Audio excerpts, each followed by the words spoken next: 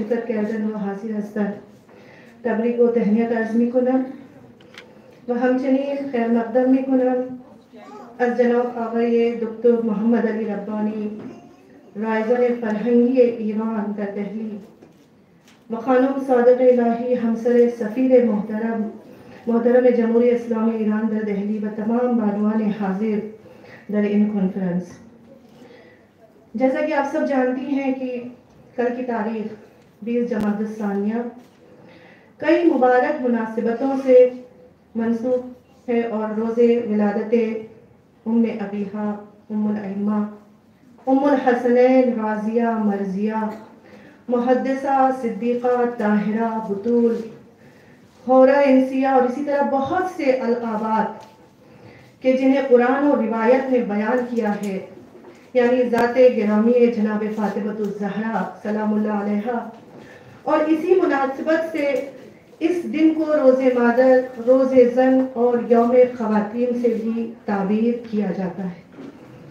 और दूसरी अहम मुनासिबत कि रोज़े विलादत बानी इनकलाब इस्लामी रूहुल्ला मूसवी इमाम खुमैनी रहमत पर आप सबको बहुत बहुत मुबारकबाद पेश करती हूँ और आप तमाम खवतिन का इस अहम प्रोग्राम में तशरीफ़ लाने पर खैर मकदम करती हूँ।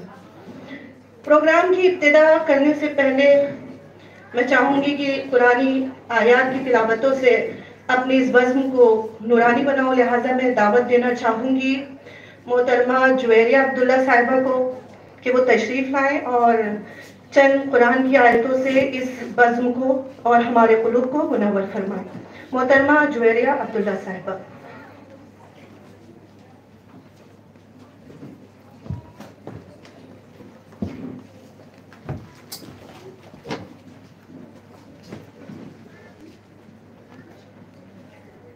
Assalamu alaikum wa rahmatullah.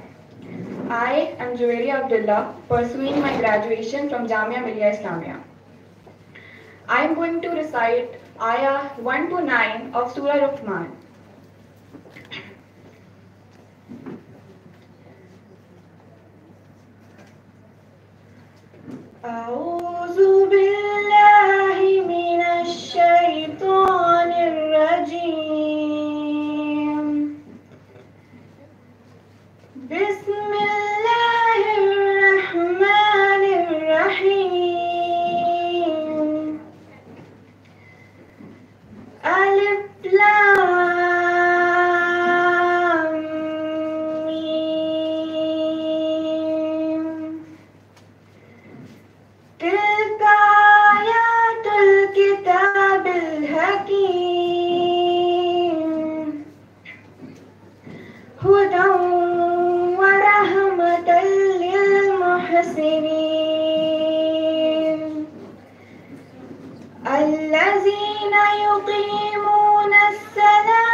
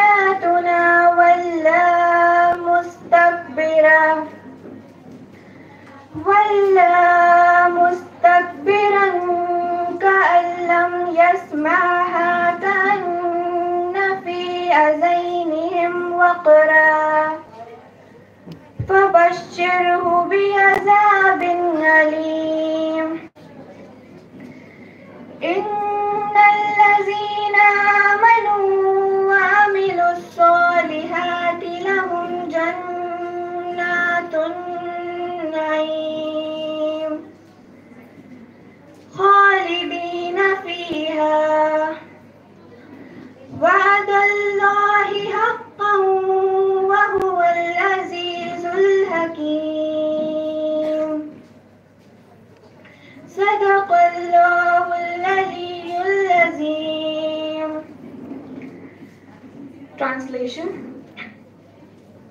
Alif Lam Mim These are verses of the wise book, a guide and a mercy for the muhsineen. Those who perform a salah and give zakah, and they have faith in the hereafter with certainty. Such are on guidance from their Lord, and such are the successful. And of mankind is he who purchases idle talks to mislead from the path of Allah without knowledge, and takes it by the way of mockery. For such there will be a humiliating torment. And when our verses are recited to such a one, he turns away in pride, as he if had heard them not, as if there were deafness in his ear. So announce to him painful torment. Verily, those who believe and do righteous good are there for them are gardens of delight. To abide therein, it is the promise of Allah in truth, and He is the Almighty, All Wise. Jazakallah khair.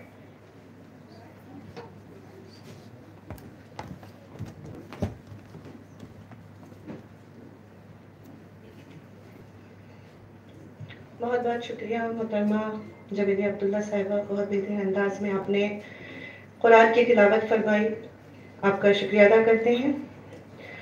दावत में गुनाम अर्ज़ आवाए doctor Mohammad Ali Rabbani रायज़न फ़रहंगी Iran दर दहली, व खानम सादक इलाही हमसर सफ़ीर मोहतरम जमहूरी इस्लाम ईरान दर दहली, के वे जाएगा तशरीफ़ आरन दा बरनामे रस्मन शुरू करें तब तक गए खानम सादक इलाही बेफरमाई मेरा सलामती है एक साल बाद भी फिर से।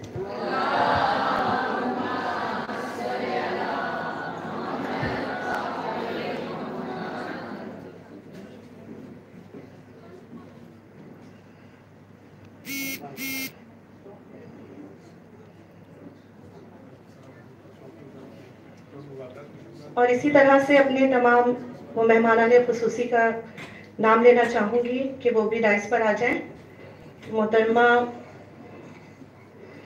परवीन फातिमा जैदी साहिबा, डॉक्टर जहरा जैदी साहिबा, प्रोफेसर डॉक्टर रूही फातिमा साहिबा, प्रोफेसर खुर्शीद फातिमा हुसैनी साहिबा, मिस फिरदौस जहाँ साहिबा, इन तमाम मेहमाना ने खसूसी से इल्तमास करती हूँ कि वो भी डाइस पर आ जाए ताकि प्रोग्राम को शुरू किया जाए।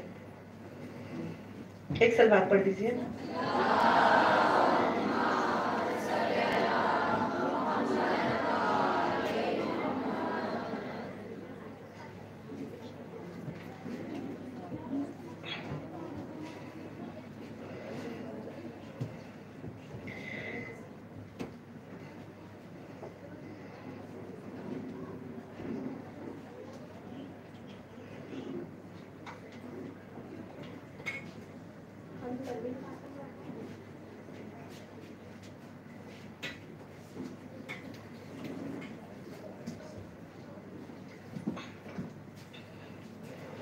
जैसा कि आप सब जानते हैं कि हमारा ये प्रोग्राम जनाब फातिमा जहरा सलामुल्लाह अलैहा की विलादत बासादत के मौके पर इस कॉन्फ्रेंस को बरगुजार किया गया है कि जिसका उनवान हज़रत फातिमा जहरा खानवादे और माशरती अकदार के लिए नमूने अमल।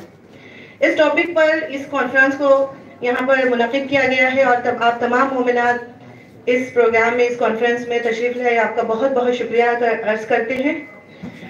जैसा कि आप सब जानते हैं कि जनाब फ़ातिमत जहरा सलामुल्लाह की अजीम शख्सियत के मुतालिक हमारी मालूमात का दायरा महज उन चंद इत्तलात तक महदूद है कि जो हम दिलो जान से उनकी अजमत और जलालत के जिसमें मोतरफ हैं और अपने रूह और ईमान की तमाम गहराइयों और तोानाइयों के साथ उनसे अकीदत रखते हैं।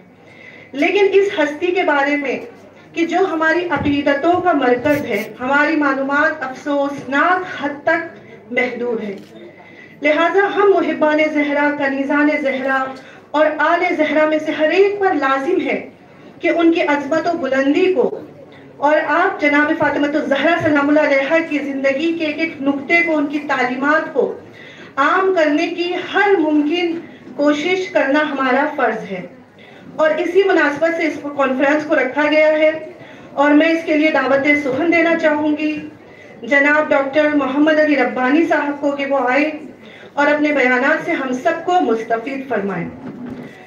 कबल ज़िक्र बयान डॉक्टर मोहम्मद अली रब्बानी रायजन दहली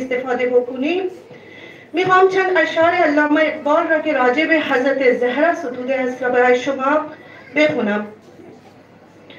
मरियम अजिक नस्बत ईसा अज़ीज़ असे नस्बत हज़रत जहरो अज़ीज़।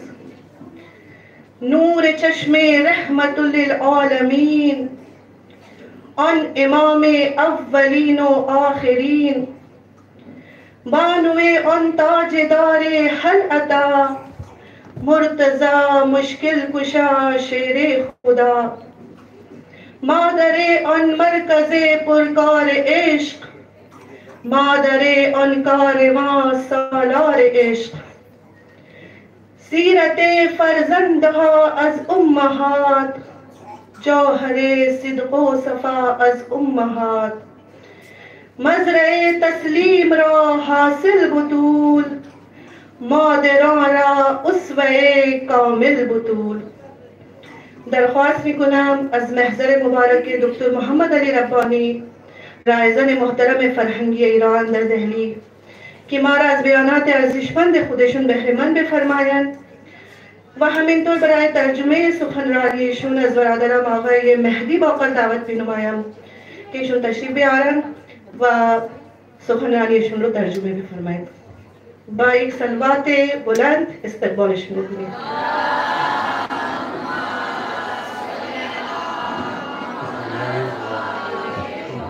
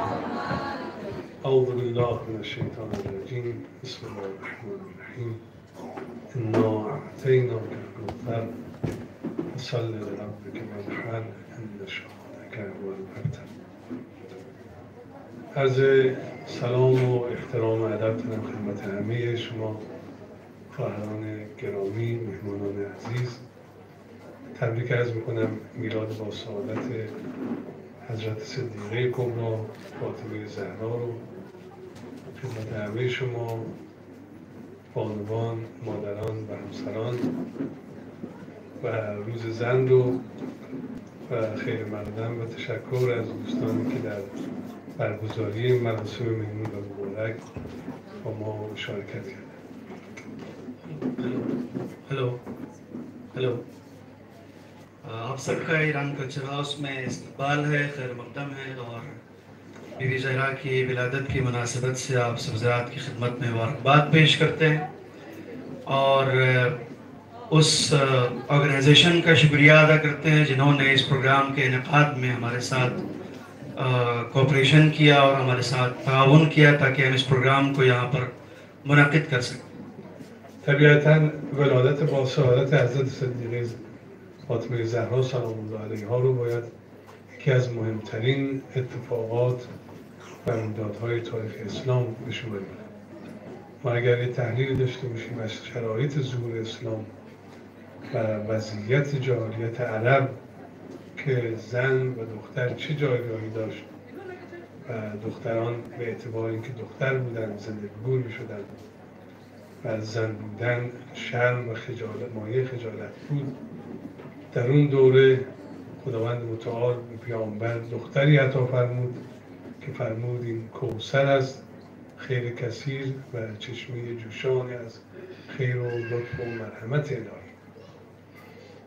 हज़रत फ़ातिमा ज़हरा सलाम अलैहा की जो विलादत है उसको तारीख़ इस्लाम बल्कि तारीख़ इंसानियत का इंतहाई अहम वाक़ समझना चाहिए क्योंकि अगर वो हालात हमारे नज़र में हो उस पर हम तजिया करें और उसको बाकायदा तौर से समझने की कोशिश करें कि जिन अयाम में आपकी विलादत हुई वो दौर वो दौर था कि जिस ज़माने में अरब में ख़वान के ताल्लुक़ से और बेटियों के हवाले से जो नुक़ नज़र था जो आम तस्वुर था वो इंतहाई तकलीफ़ दे और इंतहाई शर्मावर था। उस दौर में अल्लाह ने पैगंबर को मसदाक आया कौसर के तौर पर हज़रत बी फातमा जहरा को आ, उन्हें दिया और उनकी विलादत हुई। आपके घर में ये अपने आप में एक इंतहाई अहम वाक़ है कि जो उस ज़माने की तमाम तर अखलाक़ी बेरहरबी और समाजी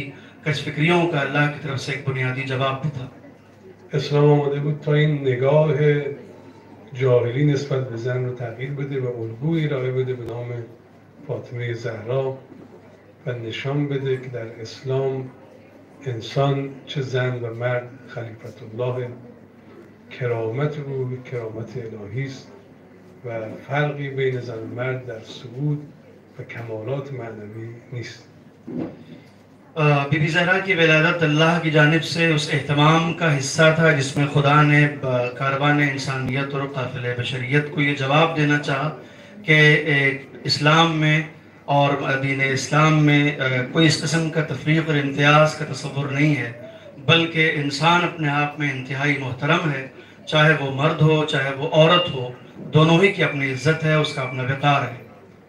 हज़रत सदर कुबरा अजमत दोस्त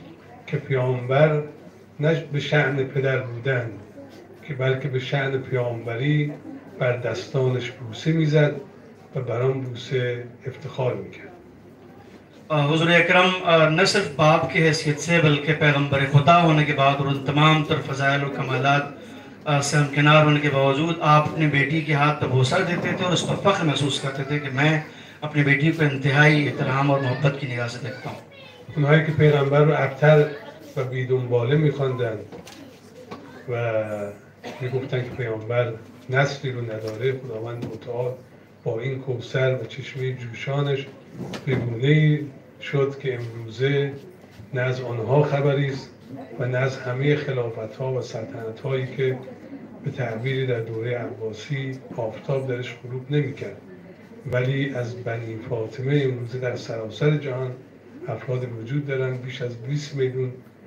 अल्लाह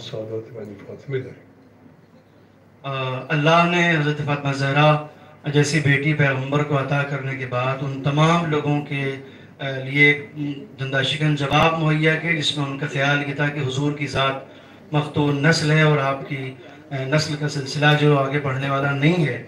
उन सब के लिए आपकी ज़ात वाला सिफात एक जवाब थी, जिसके नतीजे में आज हम देख सकते हैं कि ना उन सल्तनतों का कहीं कुछ पता है, ना उन खिलाफतों का कहीं कुछ सुराग है जो उस ज़माने में हुआ करती थी बिलखसूस सल्तनत बनी अब्बासी का सूरज नहीं डूबता था इतने बड़ी दायरे हुकूमत के मालिक थे वो लोग आज उनकी कोई कोई खबर दुनिया में नहीं है मगर आपके जो नस्ल पाक है उससे तकरीबन 20 मिलियन सादात इस वक्त दुनिया में मौजूद हैं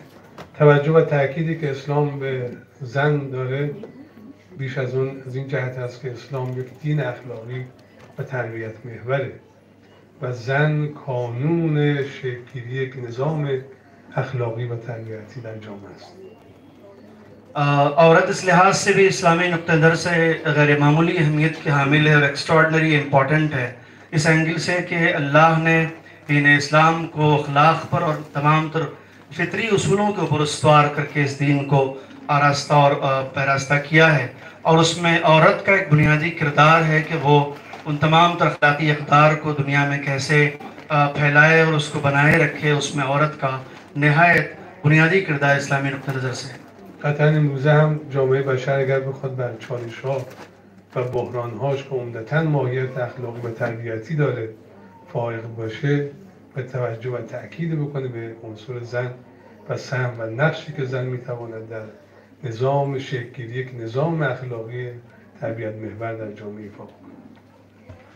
आज दो दुनिया में जो मसाइल हैं और जिस किस्म के सोशल क्राइसिस और चैलेंजेस का सामना है, पूरी दुनिया को, बिलखसूस अखलाकी तनाजुर से अगर देखा जाए और मोरल का कॉन्टेक्स्ट में इसको देखा जाए तो उससे समझ में आता है कि अगर दुनिया ने ख़वातीन का जो मकाम है, उनकी जो हैसियत है और उनका जो वक़ार है इस्लाम ने जिसे मेंटेन करने की बात कही है, अगर उसका लिहाज रखा गया होता तो आज दुनिया में सूरत हाल न होती और अभी भी ये मुमकिन है, अगर औरत को उसकी कदर मंजिलत वापस कर दी जाए तो माशरे में तोज़ुन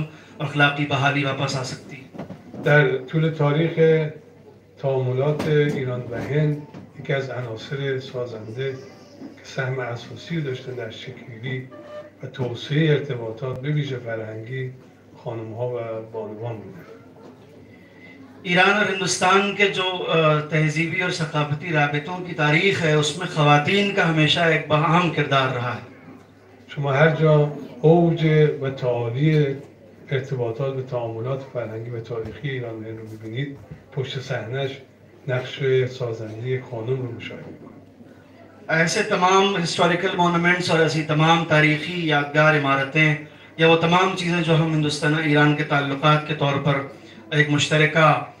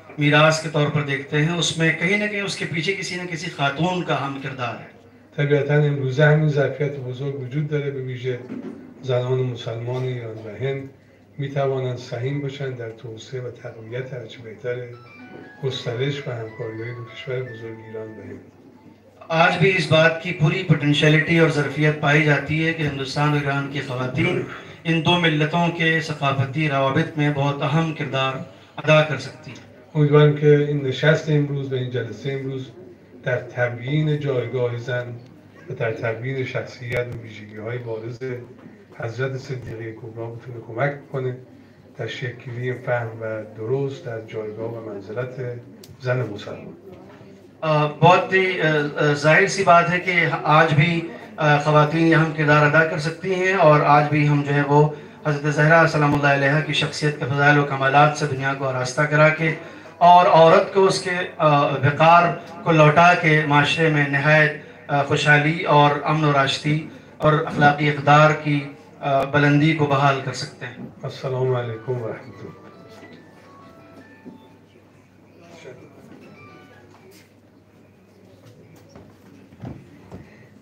सिपासगुजार मसावरी डॉक्टर रब्बानी रायजल मुहरम के मारा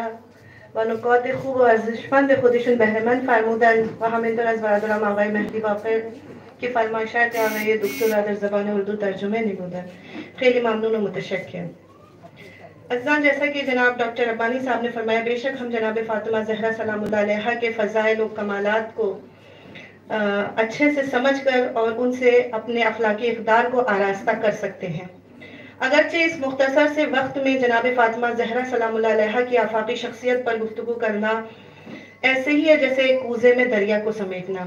क्योंकि ये ये वो अजीम हस्ती है कि जिसके लिए खुद रसूल फरमाते हैं कि अगर तमाम अच्छाइयाँ और अखलाकी फ़जाइल को मुजस्सम किया जाए तो वो फातिमा जहरा अलैहा के वजूद में नज़र आएगी। बल्कि फातिमा जहरा अलैहा की मंजिलत उससे भी बालतर है। फातिमा जहरा अलैहा की अजमत बुलंदियों को कोई बशर दर्क ही नहीं कर सकता। क्योंकि इसे दर्क करने के लिए लहजा तौहीद का होना ज़रूरी है, लफ्ज़ कुरान के होने ज़रूरी हैं। और जबान रसूल की हो, तब जाकर कोई बतूल की मंजिलत को दर्क कर सकता है। जनाब फातिमा जहरा अलैहा की ज़िंदगी हम सब के लिए नमूने अमल है। क्योंकि फातिमा जहरा तमाम बशरियत के लिए उसवे कामिल है। और क्यों ना हो कि जिसे वक्त का इमाम अपने लिए नमूने अमल बयान फरमा रहा है और कह रहा है, फ़ी इब्नत रसूलिल्लाह उसवतुन हसना. कि रसूल खुदा की बेटी की ज़िंदगी मेरे लिए नमूने अमल है। यानी वक्त का इमाम जिसे अपने लिए नमूने अमल बता रहा है, वो फातिमा जहरा कैसे न तमाम बशरियत के लिए नमूने अमल हो।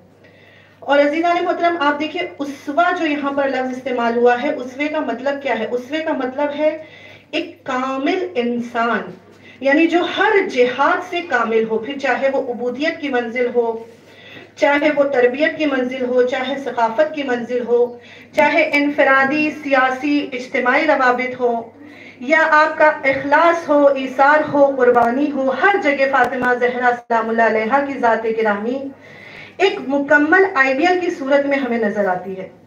फातिमा जहरा सलामुल्लाह उस अजीम शख्सियत का नाम है कि जिनकी 18 साल की मुख्तसर सी ज़िंदगी इतनी कामयाब गुजरी कि ना उनकी ज़िंदगी से पहले और ना उनकी ज़िंदगी के बाद ऐसी कामयाब ज़िंदगी तारीख बशरियत ने देखी है। फातिमा जहरा सलामुल्लाह की ज़ात गिरामी पर अगर हम गौर करें तो हम देखते हैं कि हर चीज़, हर फ़जाइल जनाब फातिमा जहरा सलामुल्लाह की ज़िंदगी में हमें नज़र आते हैं।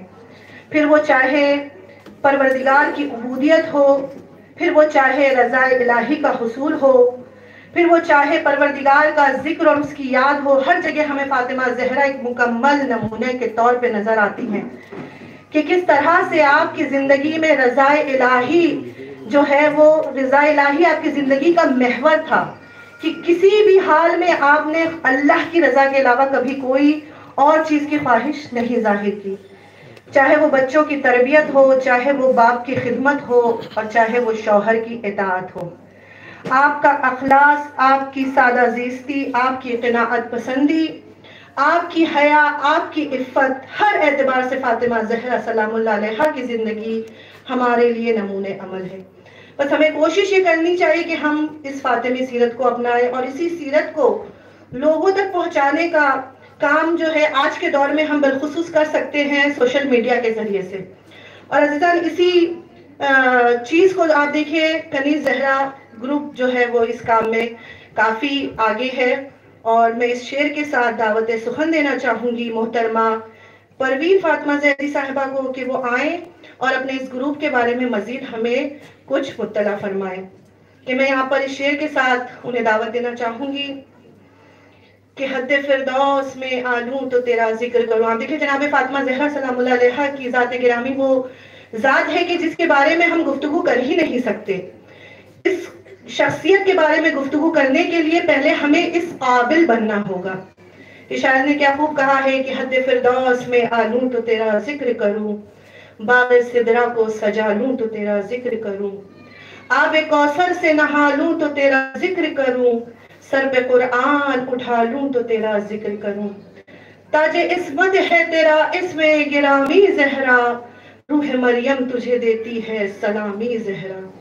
मैं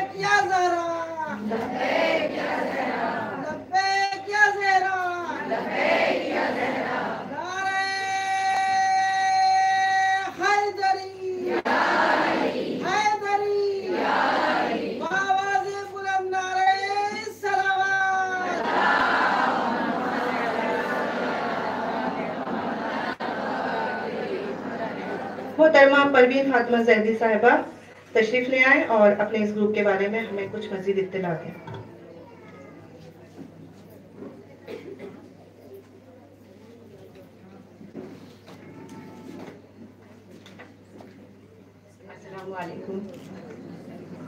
तमाम हाजरीन महफिल को सलाम वालेकुम सबसे पहले मैं आज इस कॉन्फ्रेंस में शहजादी कौन जनाब फातिमा, जरा सलामुल्लाह की। योम विलादत के मौके पर अपने वक्त के इमाम और चौदह मासूमीन को मुबारकबाद पेश करती हूँ। आप सबको बहुत बहुत मुबारक हो। मैं कनीज जहरा ग्रुप की तरफ़ से आप लोगों का खैर मकदम करती हूँ। ग्रुप को बनाए हुए तकरीबन पाँच साल हो गए और सबकी दुआओं से इनशाला और आगे बढ़ेगा। इनशाला आमीन। इस ग्रुप का पर्पज सोशल मीडिया और दीनी पैगाम को पहुंचाना है। जो इस ग्रुप में माशाल्लाह हो रहा है।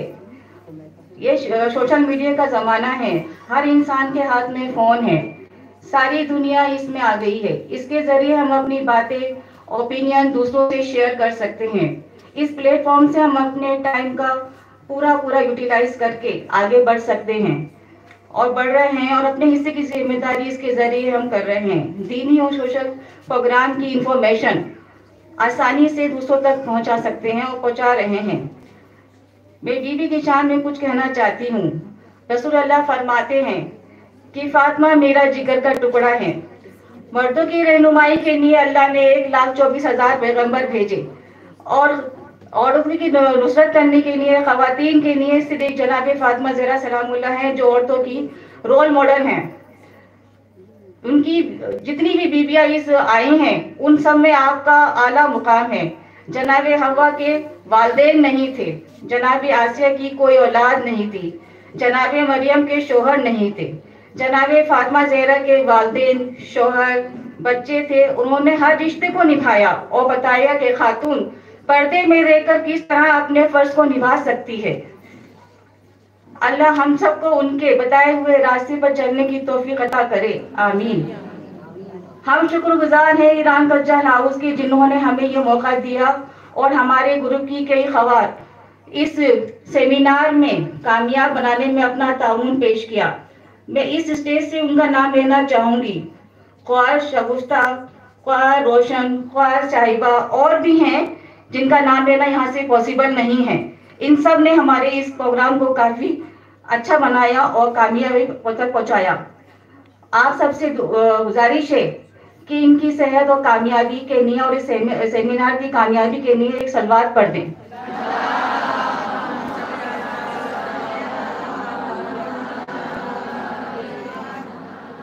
मैं आप लोग ज़्यादा टाइम नहीं लूँगी बस दो शायर दीदी की शान में पढ़ती हूँ बस। बयान हो मर्तबा किसका, किससे फातिमा का? बयान हो मर्तबा किससे फातिमा का? सना कर है खुद, किबरिया फातिमा का? नहीं कल्ब में ये फजीलत किसी की, नहीं कल्ब में ये फजीलत किसी की। पदर है हबीब खुदा फातिमा का। पदर है हबीब खुदा फातिमा का। अजादार शेख हो क्यों खफाए खौफे मेशर। अजादार शेख हो क्यों? खौफे मेशर। है मेशर में जब सहारा फातिमा का।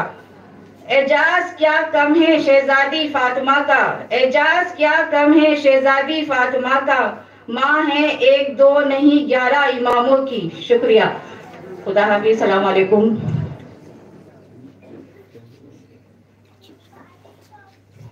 बहुत बहुत शुक्रिया मलमा परवीन फातिमा जैदी साहिबा। आपने अपने इस ग्रुप के बारे में हमें इंफॉर्मेशन दी।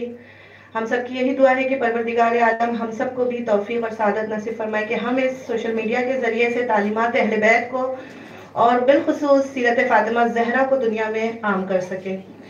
मोमिनत, अब मैं इस शेर के साथ पसीदा खानी के लिए दावत देना चाहूँगी। मोहतरमा मदीहा जहरा साहिबा को कि वो तशरीफ़ लाएँ और अपने कलाम को पेश करें।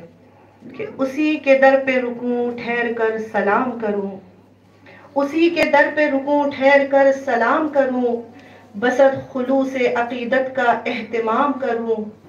वो इस वजह से भी माँ कह रहे थे बेटी को, वो इस वजह से ही भी माँ कह रहे थे बेटी को, कोई तो हो कि मैं जिसका एहतराम करूँ। मैं दावत देना चाहूँगी मुतरमा मदीहा जहरा साहिबा को।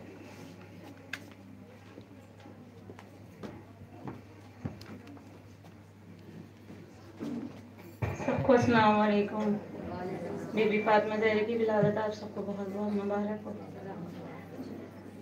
तू बड़ी हो फातिमा, तेरी चादर का क्या पूछना? हो फातिमा तेरी चादर का क्या पूछना? फातिमा तेरी चादर का क्या पूछना?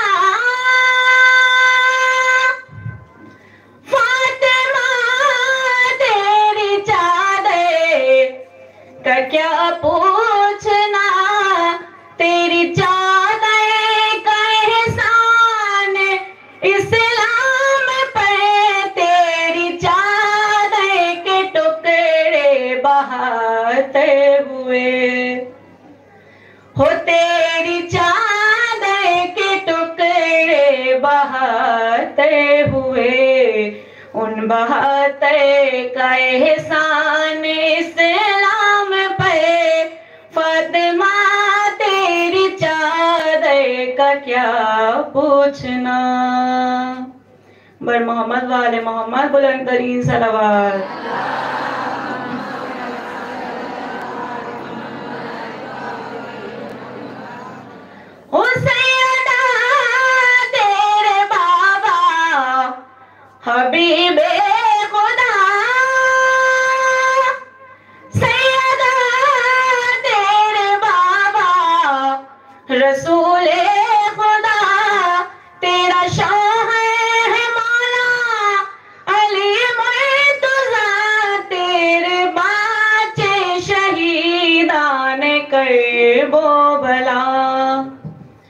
हो तेरे बाचे शहीदान कर वो भला। तेरे घर पे का एहसान इस्लाम पर फातिमा, तेरी चादर का क्या पूछना?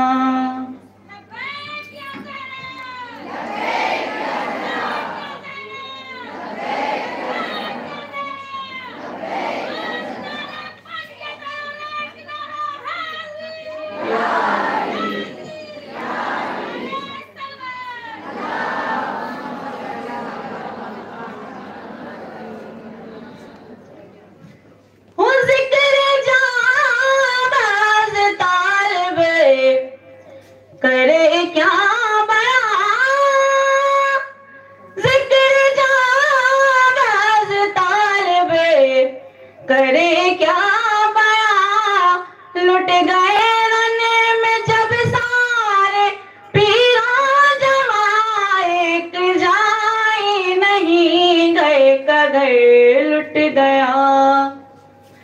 हो जाए नहीं गए का घर लुट गया। नन्हे असगरे का एहसान इस्लाम पे फातिमा तेरी चादर का क्या पूछना? तेरी चादर का एहसान इस्लाम पे सलावत भेजिए बना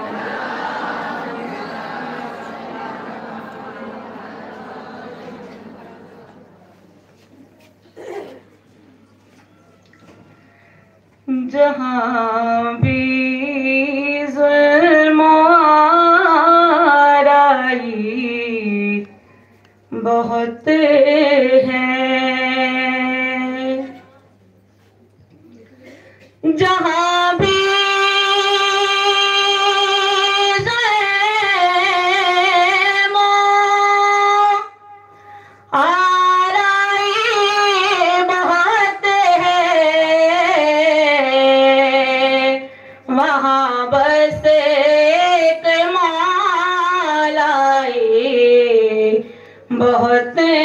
है।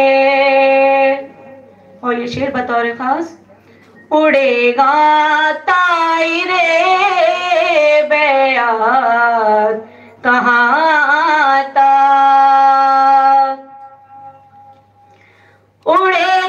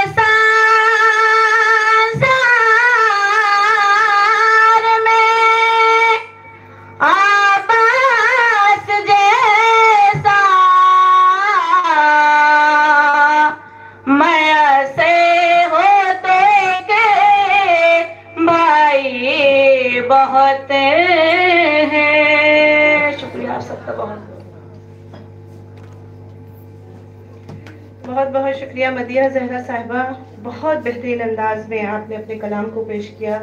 बीबी फातिमा जहरा सलाम इंशाल्लाह आपके इस कलाम को शरफ कबूलियत बख्शे। अब मैं दावत सुखन देना चाहूँगी मोहतरमा डॉक्टर जहरा जैदी साहिबा को कि जो जामिया मिलिया हम जो जो जामिया हमदर्द में मसरूफ़ खिदमत हैं और बिलखसूस कौम के लिए बेलौस खिदमत कर रही हैं और एक बेहतरीन जाकिरा भी हैं। कि वो तशरीफ़ लाएँ और अपने ख्याल का इजहार फरमाएँ। एक बुलंदतरीन सलवार के साथ इनका इस्तेमाल कीजिए। डॉक्टर जहरा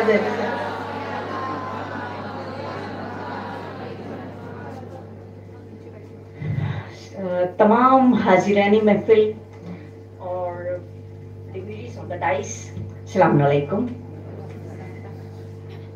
सबसे पहले तो मैं आप सब लोगों को मुबारकबाद पेश करूँगी।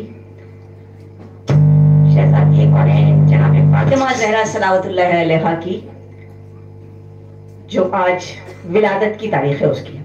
एक मरतबा शहजादी के नाम पे बुलंदर समाज पढ़ी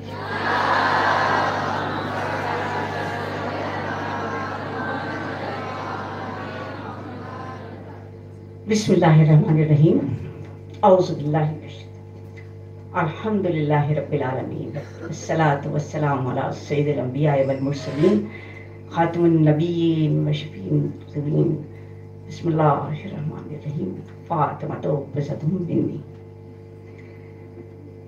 मैं ऑर्गेनाइजर्स खासतौर से कनीज सहरा ग्रुप जिसका तारुफ अभी परवीन साहिबा ने कराया, जो सोशल मीडिया में एक बड़ा इम्पोर्टेंट रोल अदा कर रही हैं, क्योंकि आज का दौर, ये सोशल मीडिया का दौर है, और आज हम अपने पैगाम को अपने यूथ तक पहुँचाने के लिए इस प्लेटफॉर्म का बहुत अच्छा इस्तेमाल कर सकते हैं। उनका और ऑर्गेनाइजिंग टीम कल्चरल हाउस की उन सबका शुक्रिया अदा कर रही हूँ कि उन्होंने मुझे ये मौका दिया कि मैं इस प्लेटफॉर्म पे आकर, इस जगह पे आकर अपने ख्याल का इजहार कर सकूँ। ये इंटरनेशनल सेमिनार जो वुमेन्स डे के एतबार से आज ऑर्गेनाइज किया गया। यकीनन बहुत ही अहम मौका है। देखिए अगर हम देखें हिस्ट्री के अंदर तो 1807 में सबसे पहले एक क्रिश्चियन लेडी ने यूएस में वुमेन्स डे का आगाज़ किया था। उसको सेलिब्रेट करना शुरू किया था। और वुमेन्स डे का जो सेलिब्रेशन किया था उस लेडी ने she is a Christian lady और उस क्रिश्चियन लेडी ने जनाबे मरियम की फजीलत से इंप्रेस होकर इस मदर्स डे का या इस वुमेन्स डे का आगाज़ किया था। और उसके बाद 1908 में यूएस की असेंबली ने इसको बाकायदा एडॉप्ट कर लिया। और अडॉप्ट करने के बाद इस डे को मदर्स डे या वुमेन्स डे के नाम से अब हर साल सेलिब्रेट किया जाता है। ये डे मई में सेकेंड संडे को ऑल ओवर वर्ल्ड जो है वो सेलिब्रेट किया जाता है। और बहुत सारे पहले ये जो डे था वो अलग अलग डेज़ में होता था, लेकिन अब ये डे फिक्स हो गया है और हर मई का सेकेंड संडे वुमेन्स डे है। और हम जब तारीख में देखते हैं तो हमें पता ही चलता है कि ये डे जब अपने अपने मुल्क में हर एक मुल्क की किसी एक स्पेशल वुमेन को, एक रोल मॉडल को लेके उन्होंने इसको सेलिब्रेट करना शुरू किया। लेकिन इमाम हुमैनी रहमत ने ये डिसाइड किया कि ऑल ओवर वर्ल्ड ये जो डे है वो अपने अपने रोल मॉडल को लेके वुमेंस डे के तौर पे सेलिब्रेट किया जाता है। लिहाजा हम इस डे को जो सेलिब्रेट करें, क्योंकि वो एक वाहिद हस्ती, जिससे पहले न कोई ऐसी बाजमत भी गुजरी है, न इस दौर में कोई ऐसी बाजमत बीबी है, और ना आने वाले दौर में कोई ऐसी बाजमत बीबी होगी। हम इस डे को उस बीबी के नाम से मदर्स डे और वुमेन्स डे के नाम से सेलिब्रेट करेंगे। और इस तरह ये आज का दिन, यानी शहजादी की विलादत का जिन 20 जमाती उसानी को आराम इस्लाम के लिए वुमेन्स डे करार दिया। सलवात पढ़ दीजिए इसमें।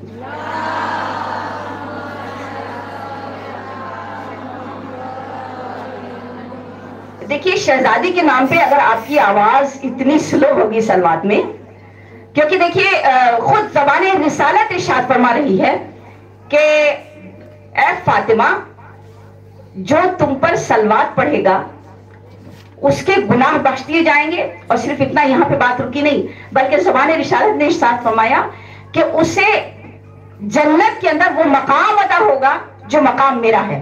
लिहाजा आपकी आवाज़ ऐसी होनी चाहिए कि आपकी आवाज़ शहजादी के जो कनीजे हैं, उनकी आवाज़ है तो उसके अंदर एक ऐसा जोश होना चाहिए जो आसमान तक हमारी आवाज़ पहुँचे।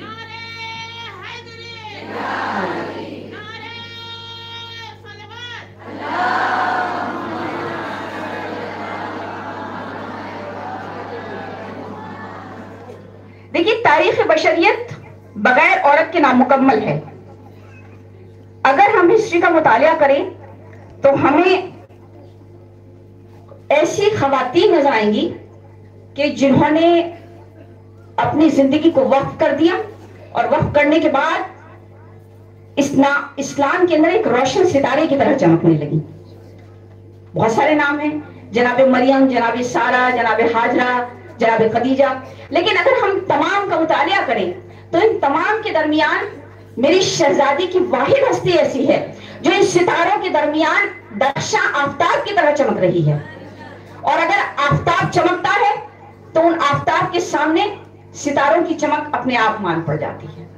उनका मकाम अपनी जगह है, लेकिन शहजादी का मकाम तमाम आलमीन की औरतों में सबसे बेहतर है। और क्यों ना हो सैदत निसाइल आलमीन है। तमाम औरतों की सरदार है मेरी शहजादी। देखिए, जॉर्डन के एक स्कॉलर ने एक मकाला लिखा, एक किताब लिखी जनाब फातिमा जहरा के हवाले से कि फातिमा द ग्रेट लेडी। वो अपने मकाले के अंदर लिखता है कि खालिक कायनात ने जो तमाम कमालात, जो फजाले, फजाई तमाम अंबिया को अता किए थे, वो तमाम फजाइल आखिरी पैगंबर जनाब मोहम्मद मुस्तफ़ा सल्लल्लाहु अलैहि वसल्लम को।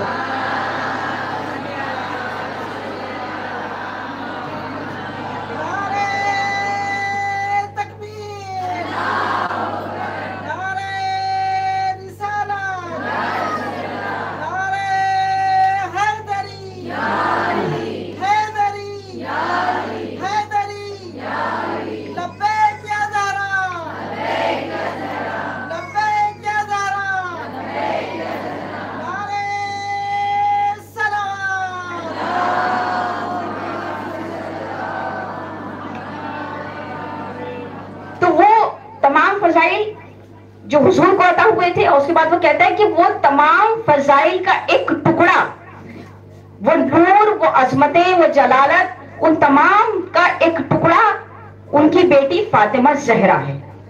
अगर अपने किसी चीज़ की आदमी तारीफ़ करता है तो वो तारीफ़ तारीफ़ तो होती है, लेकिन तारीफ़ असल में हकीकत में वो है जो गैर आके किसी की अजमत और किसी की तारीफ़ बयान करे। तो क्योंकि वो पार्शियल नहीं, अपने पर तो ये इल्ज़ाम लग सकता है कि हम पार्शियल हैं, अपनी तारीफ़ खुद कर रहे हैं। लेकिन अगर कोई गैर किसी चीज़ की तारीफ़ करता हुआ नज़र आए तो उसकी एक अलग वैल्यू होती है। तो क्यों ना हो शहजादी की अजमत? शहजादी की विलादत की जो तहदियत है, मुबारकबाद है, सिर्फ़ ज़मीन पर नहीं है, बल्कि ये नूर व नूर है कि आसमान पर मलाइका और हूर इसकी तहदियत पेश करते हुए नज़र आ रही हैं। ये नूर खुद, ये नूर कैसा नूर है कि इस नूर की खिलकत इस ज़मीन से पहले हुई। सबसे पहले खालिक कायनात ने इन पंजतन के नूर को पैदा किया। और ये नूर कैसा नूर है कि एक मरतबा खालिक कायनात ने मलाइका का इम्तिहान लेना चाहा। और इस इम्तिहान लेने के लिए एक स्याह बादल को तारी कर दिया। स्याह बादल ऐसे स्याह बादल ने आके चारों तरफ़ से आसमान को इस तरह घेर लिया कि अंधेरा छा गया और मलक एक दूसरे को नहीं देख सकते थे। तब एक मरतबा मलाइका ने तस्बीह की पालने वाले ये कैसा अंधेरा है? इस अंधेरे को दूर कर दे। तो बस खालिक कायनात ने इस अंधेरे को दूर करने के लिए एक कंदील के अंदर शहजादी कौन जनाब फातिमा जहरा के नूर को रखा और उस नूर को रखना था। उस नूर को रख के बीच के अंदर आवेजा कर दिया और उस नूर की शुआएँ इस तरह फैली कि तमाम सातों आसमान और सातों ज़मीन उस नूर से रोशन और मुनवर हो गए एक मरतबा मलाइका ने तस्वीर करना शुरू की। सजदे में सर झुका दिया। खालिक कायनात की नूर, कैसा नूर है कि इस छोटे से नूर ने तमाम आसमान और ज़मीन को रोशन और मुनवर कर दिया? तो आवाज़ कुदरत आई। क्या है मलाइका? ये नूर कोई और नहीं, बल्कि मेरी करीब खास फातिमा जहरा का नूर है। और ऐ मेरे मलाइका, तुम इस नूर के देखने के बाद जो तुमने तस्वीर तजवीर करना शुरू की है मैं अपनी जलालत और इज़्ज़त की कसम खा के कहता हूँ कि तुम्हारे ना जो तुम आज जो कुछ तुम ये इबादतें कर रहे हो इन इबादतों का जो सवाब है मैं फातिमा के बाबा के चाहने वालों को फातिमा के बेटों के चाहने वालों को खुद फातिमा के चाहने वालों की के लिए इस, इस तमाम इबादतों को महसूस कर दूँगा और इनका सवाब रोज़े जजा में उनको अता करूँगा। और खालिक कायनात ने जब इस नूर को ज़मीन पे भेजना चाहा, तब एक मखसूस इंतज़ाम किया। मुझे पूरा डिटेल बता बयाने की ज़रूरत नहीं है, बल्कि तारीख बताती है कि इस नूर को खालिक कायनात ने जब ज़मीन पे भेजना चाहा तो अपने हबीब को अपना मेहमान बना लिया, ताकि इस नूर को इस जन्नत के सेब के ज़रिए ज़मीन पे भेजा जा सके। और ये नूर जब ज़मीन पे आया तो इस नूर ने तमाम अपनी शुआओं को इस तरह, इस 18 साल की उम्र में शहजादी ने अपने नूर को इस तरह फैलाया कि अब कयामत तक ये नूर रोशनी देता रहेगा मशल राह बनता रहेगा। और बस, शहजादी की सीरत कयामत तक के लिए, तमाम औरतों के लिए रोल मॉडल है। आज का जो हमारी सेमिनार का जो थीम है, वो है कि हमारी शहजादी किस तरह रोल मॉडल है आलम निस्वानियत के लिए, आलम इंसानियत के लिए। तो रोल मॉडल होता क्या है असल में? देखिए, कोई भी रोल मॉडल, वो हस्ती के, जिसको देखने के बाद हम उसको फॉलो करना चाहें। हम चाहें कि हम उसी के एतबार से चले, उसके एतबार से लिबास पहने, उसके जैसे हम हो जाएँ। यही है ना रोल मॉडल। आज क्या है? हर एक के अपने अपने रोल मॉडल हैं। तो रोल मॉडल एक ऐसी परफेक्ट हस्ती का नाम है। एक ऐसी परफेक्ट हस्ती कि जो हर लिहाज से जिसको हम फॉलो करना चाहें। तो आइए शहजादी की सीरत से देखें कि शहजादी की सीरत जो सिर्फ़ 18 साल की उम्र में है, किस तरह हमारे लिए रोल मॉडल है। एक औरत की ज़िंदगी के अंदर मुख्तलिफ़ दौर आते हैं। कभी ये औरत एक बेटी होती है, कभी माँ की हैसियत से होती है, कभी जौजा की हैसियत से होती है। तो अगर माँ की हैसियत से हम शहजादी को अपना रोल मॉडल माने तो हमें नज़र ही आता है कि शहजादी एक बेहतरीन माँ है। किस तरह बेहतरीन माँ है? कि शहजादी की ज़िंदगी को, का जब हम मुताया करते हैं तो हमें ये नज़र आता है कि शहजादी अपने बच्चों से बेनतहा मोहब्बत करने वाली हस्ती का नाम है। और ये आज मेरे और आपके लिए पैगाम है। ये मैसेज है कि देखो, शहजादी को रोल मॉडल बनाते हुए अगर एक माँ की हैसियत से तुम्हें अमल करना है तो देखो कि शहजादी ने अपनी ज़िंदगी को किस तरह गुजारा। किस तरह शहजादी अपने बच्चों की खिदमत कर रही हैं, अपने बच्चों के लिए अपने हाथ से खाना बना रही हैं उनके बाल सवार रही हैं, उनके कपड़ों को धोती हुई नज़र आ रही हैं। ये पैगाम है शहजादी की सीरत का कि देखो, अपने बच्चों से किस तरह मोहब्बत करना है। क्योंकि मोहब्बत एक ऐसा जज्बा है कि अगर आप अपने बच, किसी एक गैर आदमी से भी अगर आप मोहब्बत करने लगेंगे तो उसको आप अपना बना लेंगे। आज का जो ये दौर है, जहाँ आज हमें आमतौर पर ये शिकायतें सुनने के लिए मिलती हैं बरदार होते थे, लेकिन आज के बच्चे नाफरमान हैं। मैं कहूँगी कि उसकी एक बहुत बड़ी वजह हमारा अपना अमल है। अगर हम बच्चे को प्यार और मोहब्बत देंगे, और ये मैं अपनी तरफ़ से नहीं कह रही हूँ, बल्कि बहुत सारी साइंटिफिक रिसर्च मौजूद है, जिसके अंदर ये बात साबित की गई है कि बच्चे को जितना प्यार, मोहब्बत आप देंगे, वो बच्चा उतना ही आपके साथ आने वाली ज़िंदगी में अटैच रहेगा। तो शहजादी की सीरत का पहला पैगाम कि अपने बच्चों को प्यार और मोहब्बत दो। उसके बाद तरबियत के सिलसिले में जब हम शहजादी को बहसियत माँ देखते हैं तो मुझे नज़र ये आया कि किस तरह शहजादी अपने बच्चों की तरबियत करती हुई नज़र आ रही है कि जानती, शहजादी की आगोश ने दो तरह के बच्चों को पाला है।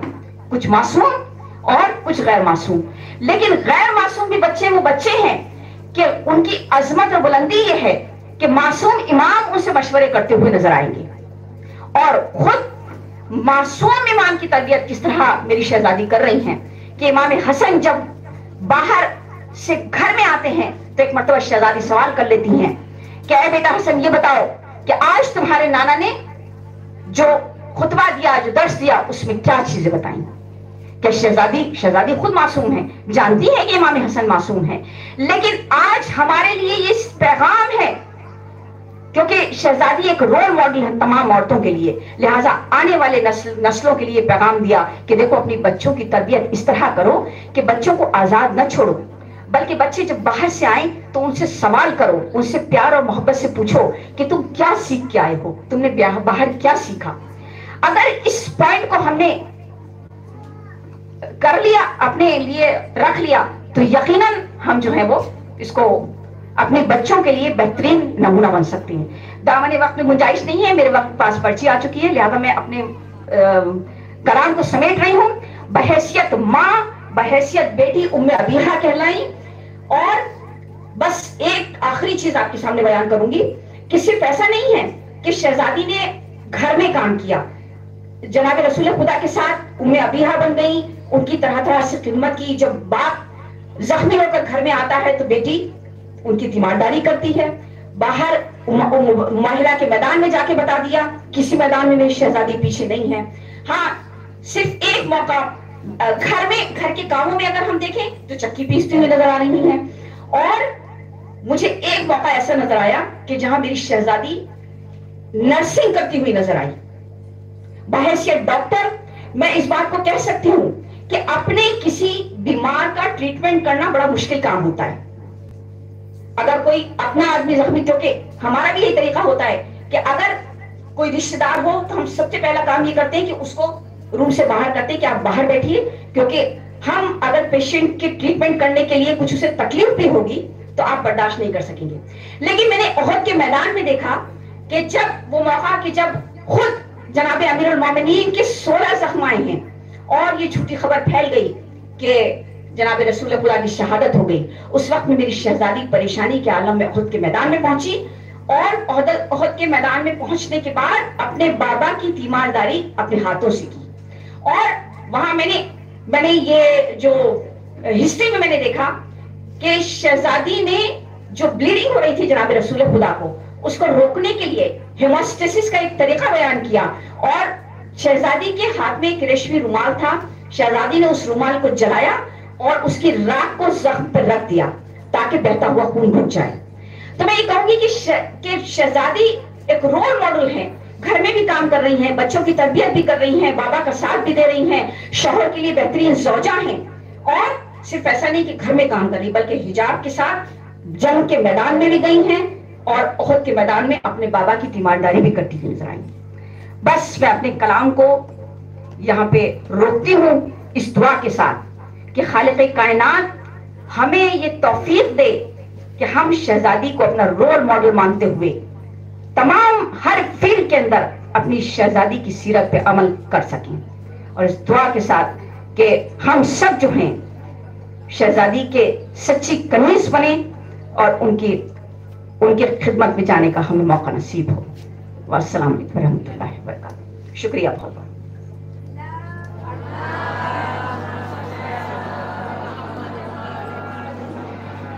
बहुत बहुत शुक्रिया मोहतरमा डॉक्टर जहरा जैदी साहबा।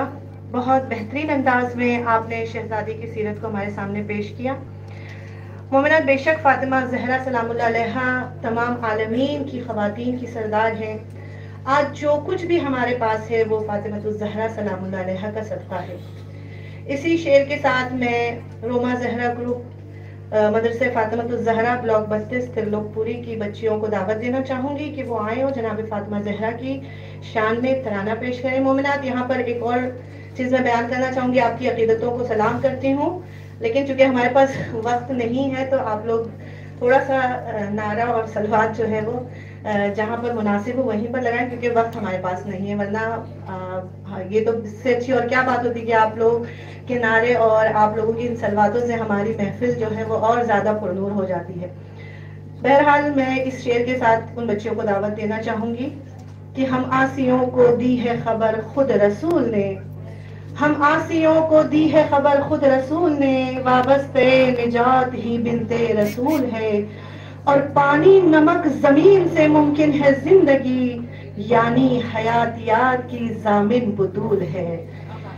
मैं दावत देना चाहूँगी मदरसे फातिमत जहरा ब्लॉक बत्तीस, तिल्लोकपुरी। रोमा जहरा ग्रुप की बच्चियों को कि वो आए और जनाब फातिमा जहरा सलाम की शान में तराना पेश करें। एक सलवात पढ़िए।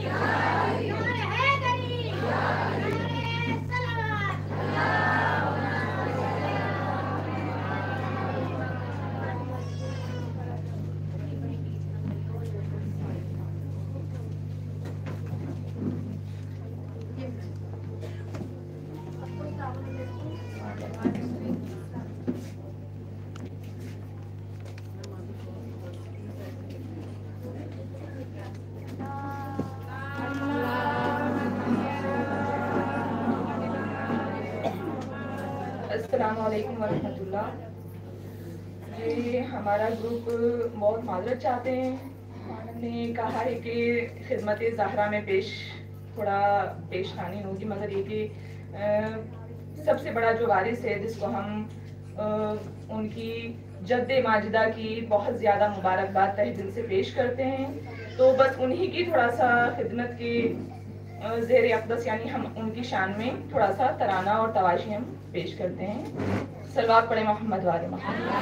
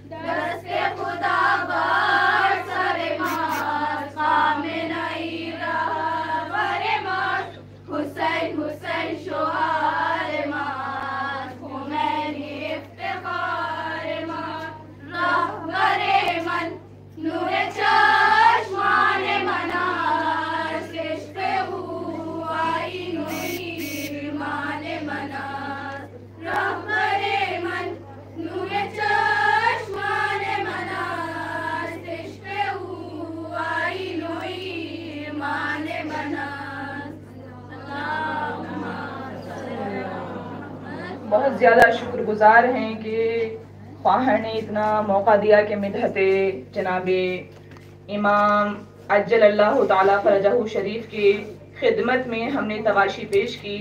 और एक मरतबा और आप सबको मुबारकबाद पेश करते हैं जनाब फ़ातिमा जहरा की खिदमत में। जनाब फ़ातिमा जहरा की विलादत के मौके पर कि दुनिया में कोई भी बेटी ऐसी नहीं कि हर बेटी की पहचान उसके बाप से ही की जाती है, मगर वाहिद एक हस्ती ऐसी हैं हदीसी के सामने आप लोग भी पढ़ते हैं, जैसे हम फातिमा तो व अबूहा व बालुहा व बनूहा। यानी वाहिद ये वो हस्ती हैं कि इनके ज़रिए से इनके घर की पहचान होती है, इनके बाप की पहचान होती है। वसलाम शुक्रिया, बहुत ज़्यादा एक सलवार पड़े मोहम्मद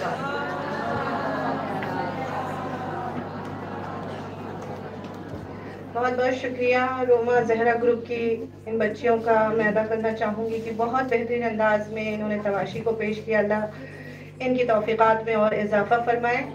और ये मदरसा जामतुल जाम फ़ातिमतुलजहरा के नाम से जो है वो चला रही हैं। तीन चार साल से तकरीबन और इसमें काफ़ी बच्चियाँ जो हैं वो जेर तालीम हैं और इनकी तरबियत कर रही हैं। अल्लाह इन सब बच्चियों की दिन और दुनिया में कामयाबी अता फरमाए। अब मैं दावत देना चाहूँगी मुहतरमा प्रोफेसर डॉक्टर रूही फातिमा साहिबा को कि जो जामिया मिलिया इस्लामिया के शोबे तालीम में मसरूफ़ खिदमत हैं कि वो आए और इस मौजू पर अपने ख्याल का इजहार करें। एक बुलंद तरीन सलवार के साथ इस्तबाल करते हैं मोहतरमा प्रोफेसर डॉक्टर रूही फातिमा साहिबा का।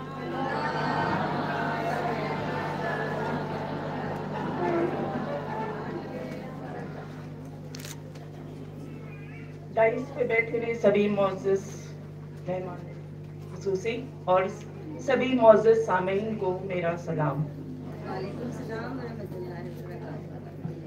जैसे मैम ने अभी बताया मेरा नाम रूही फातमा है और मेरा ताल्लुक जामिया मिलिया इस्लामिया के शोबा तालीम से है।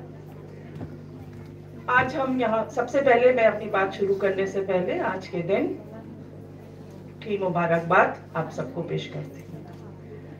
हज़रत फातिमा जहरा को हम कैसे एक रोल मॉडल की शक्ल में देख सकते हैं इसके ऊपर अभी एक बहुत खूबसूरत बयान डॉक्टर जहरा ने अपनी खूबसूरत बयान दिया है। अब मैं इस मौजू को थोड़ा सा आगे बढ़ाते हुए मैं एक छोटे से टॉपिक पर बात करूँगी। मेरे आ, बात करने का जो मेरा मजमून है उसका उन्वान है हज़रत फातिमा जहरा के मुख्तलिफ़ अलकाबात हम जानते हैं कि इस्लाम हमें मसावत, इंसानियत और रूहानियत का दर्ज देता है। अल्लाह ताला ने तमाम इंसानों के लिए अमली, तालीम का एक लाहे अमल तरतीब दिया है और अपने अम्बिया के ज़रिए इसकी हकीकी तालीम दी है। ये हिदायत किताब की शक्ल में दर्ज की गई हैं, जिसे हम मुसलमान कुरान कहते हैं। ये कुरान हमारे आखिरी नबी मोहम्मद सल्लल्लाहु अलैहि वसल्लम पर नाजिल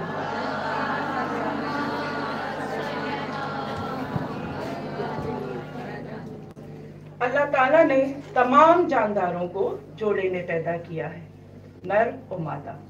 इन तमाम जानदारों में इंसान को अशरफुल मखलूक़ात का दर्जा दिया गया है।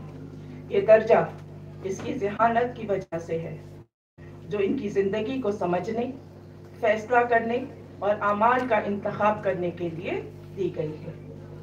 कुरान में अल्लाह ताला ने मर्द और औरत दोनों के लिए तालीमात दी हैं, जिसे कुरान में साफ़ साफ़ लिखा गया है। मर्द और औरत के फ़राइज और हुकूक का एक पूरा नक्शा पेश किया गया है और अमली मिसालें भी पेश की गई हैं। हमारे पैगंबर हज़रत मोहम्मद सल्लल्लाहु अलैहि वसल्लम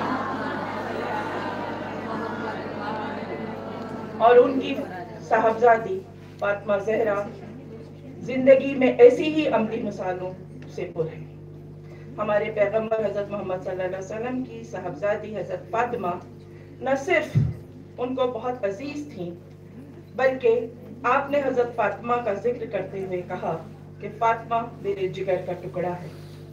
जो इसे तकलीफ़ देगा, वो मुझे तकलीफ़ देगा। हज़रत फातिमा जहरा एक मिसाली शख्सियत और तकवा की वो अलामत हैं, जो इस्लाम ने ख़वातीन के लिए मुतन की है।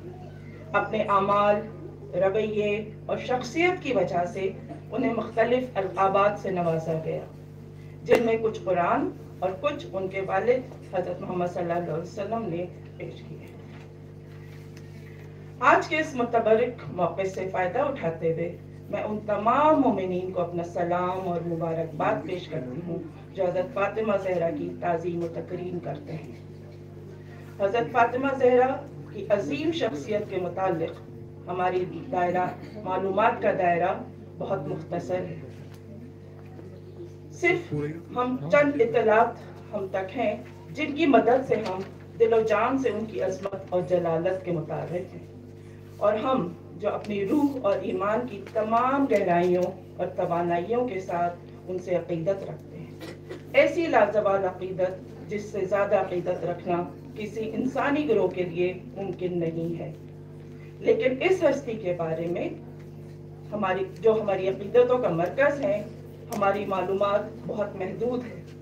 लिहाजा हम जहरा व आल जहरा में हर एक पर लाजिम है कि इनकी अजमत व और ज़िंदगी के तमाम पहलुओं पर रोशनी डालने और उन दुनिया के तमाम कोनों में हज़रत जहरा के ज़िंदगी के एक एक नुक्ते को और उनकी तालीमत को आम करने के लिए हर मुमकिन कोशिश करें। आज के इस मकाले में मैं उनकी तफवीज़ करता कुछ अलकाबात के बारे में बात करूँगी। कि आपका नाम फातमा क्यों रखा गया? आपके मुख्तलिफ़ अलकाबात क्या हैं और इनके मानी क्या हैं? हम यहाँ पर न सिर्फ़ चंद अलकाबात का ज़िक्र करेंगे। ये वो अलकाबात हैं जिन पर अक्सर मरकीन का, का इत्तेफाक है। किसी भी शख्सियत के बारे में जानने के लिए सबसे पहले ज़रूरी है कि इनके नाम और हसब नसब मालूम करें कि वो इंसान कैसा है।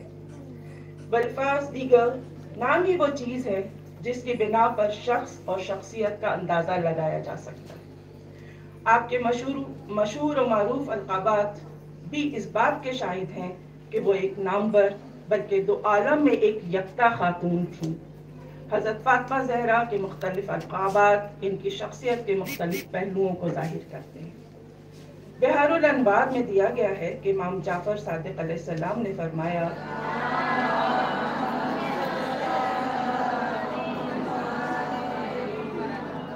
कि जब हज़रत फातिमा की विलादत हुई तो अल्लाह ताला ने एक फरिश्ते को वही की कि मोहम्मद मोहम्मद के नाम से फातिमा का नाम बोलो।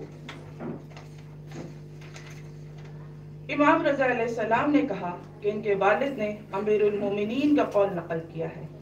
हज़रत अली सलाम की रवायत है कि रसूल खुदा सल्लल्लाहु ने फरमाया, मैं बयान करूँ कि फातिमा नाम क्यों रखा गया है? मैंने अर्ज़ किया, या रसूल अल्लाह ये नाम क्यों रखा है?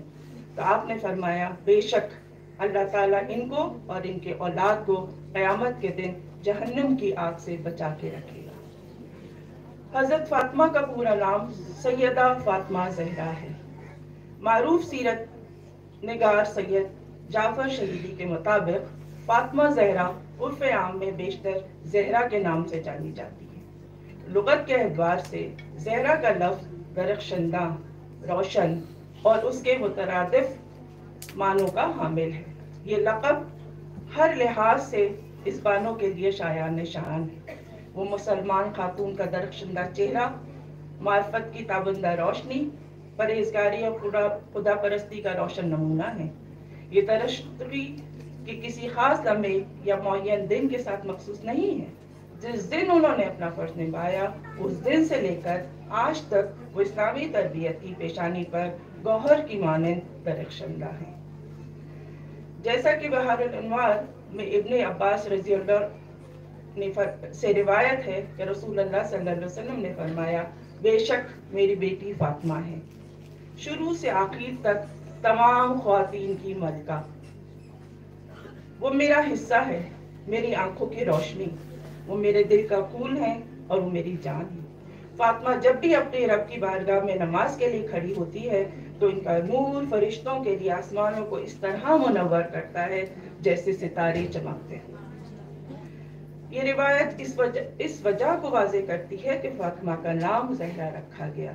इसके अलावा हमें और भी बहुत सी ऐसी रिवायतें मिलती हैं, जिनके मुताबिक इनका चेहरा रोशन और शानदार था। लफ्ज सैयद सियादत से मुश्तक है, जिसके मानी शरीफ, करीम हलीम, रईस मता और सरदार के हैं। चूँकि जनाब सैदा फातमा जहरा औसाफ हमीदा और नफसानी का कमालात के लिहाज से तमाम खातन में अशरफुल अफजल थी। इसलिए सैदा या सैदतुलनसामीन कहा गया। जैसा कि मीर सैयद अली हमदानी ने मदतुल गरबा में खुद जनाब सैदा से मरवी रिसालत मार की हदीस मौजूद है। जनाब फातिमा से रिवायत है कि रसूल खुदा ने फरमाया, ए फातिमा, क्या तुम इस बात पर खुश नहीं हो कि तमाम आलम की औरतों की या मेरी उम्मत की औरतों की सरदार हो? हज़रत फातिमा का एक लकब सदीका था। सदीका सदीक की मोनस है, जिसके मानी बहुत सच्ची और जिसके अमर और गुफ्तार एक जैसा हो के हैं। यानी एक ऐसी औरत जिसमें ईमानदारी या खलूस हो। लफ्ज सिद्दीका के कई मायने बयान किए गए हैं। इनमें से कुछ ये हैं, वो जो सच्चाई से बुलंद हो वो जो कभी झूठ नहीं बोलती, वो जिसके अमाल, इसके कौल के मुताबिक हैं, वो जिसने कभी झूठ नहीं बोला, क्योंकि वो सच्चाई की पीकर है। बावकार तकरीर और अकायद के साथ एक औरत, और जिनके अमाल उनकी बातों की तस्दीक करते हैं। वो जो अल्लाह और उसके रसूल के अहकाम को किसी शक के बगैर मानती हो रसूल पाक सल्लल्लाहु अलैहि वसल्लम ने हज़रत फातिमा जहरा को इसी लकब से पुकारा है क्योंकि जनाब सैदा की पूरी ज़िंदगी सदक और रास्ती पर मुबनी है। हज़रत आयशा कहती हैं कि मैंने रसूल अल्लाह, रसूल खुदा सल्लल्लाहु अलैहि वसल्लम के बाद जनाब सैदा जहरा जैसा से ज़्यादा रासबाज किसी को नहीं देखा। हज़रत फातिमा जहरा के अल्काब में एक लकब मुबारक है। मुबारक के मानी सादत, खुशबख्ती।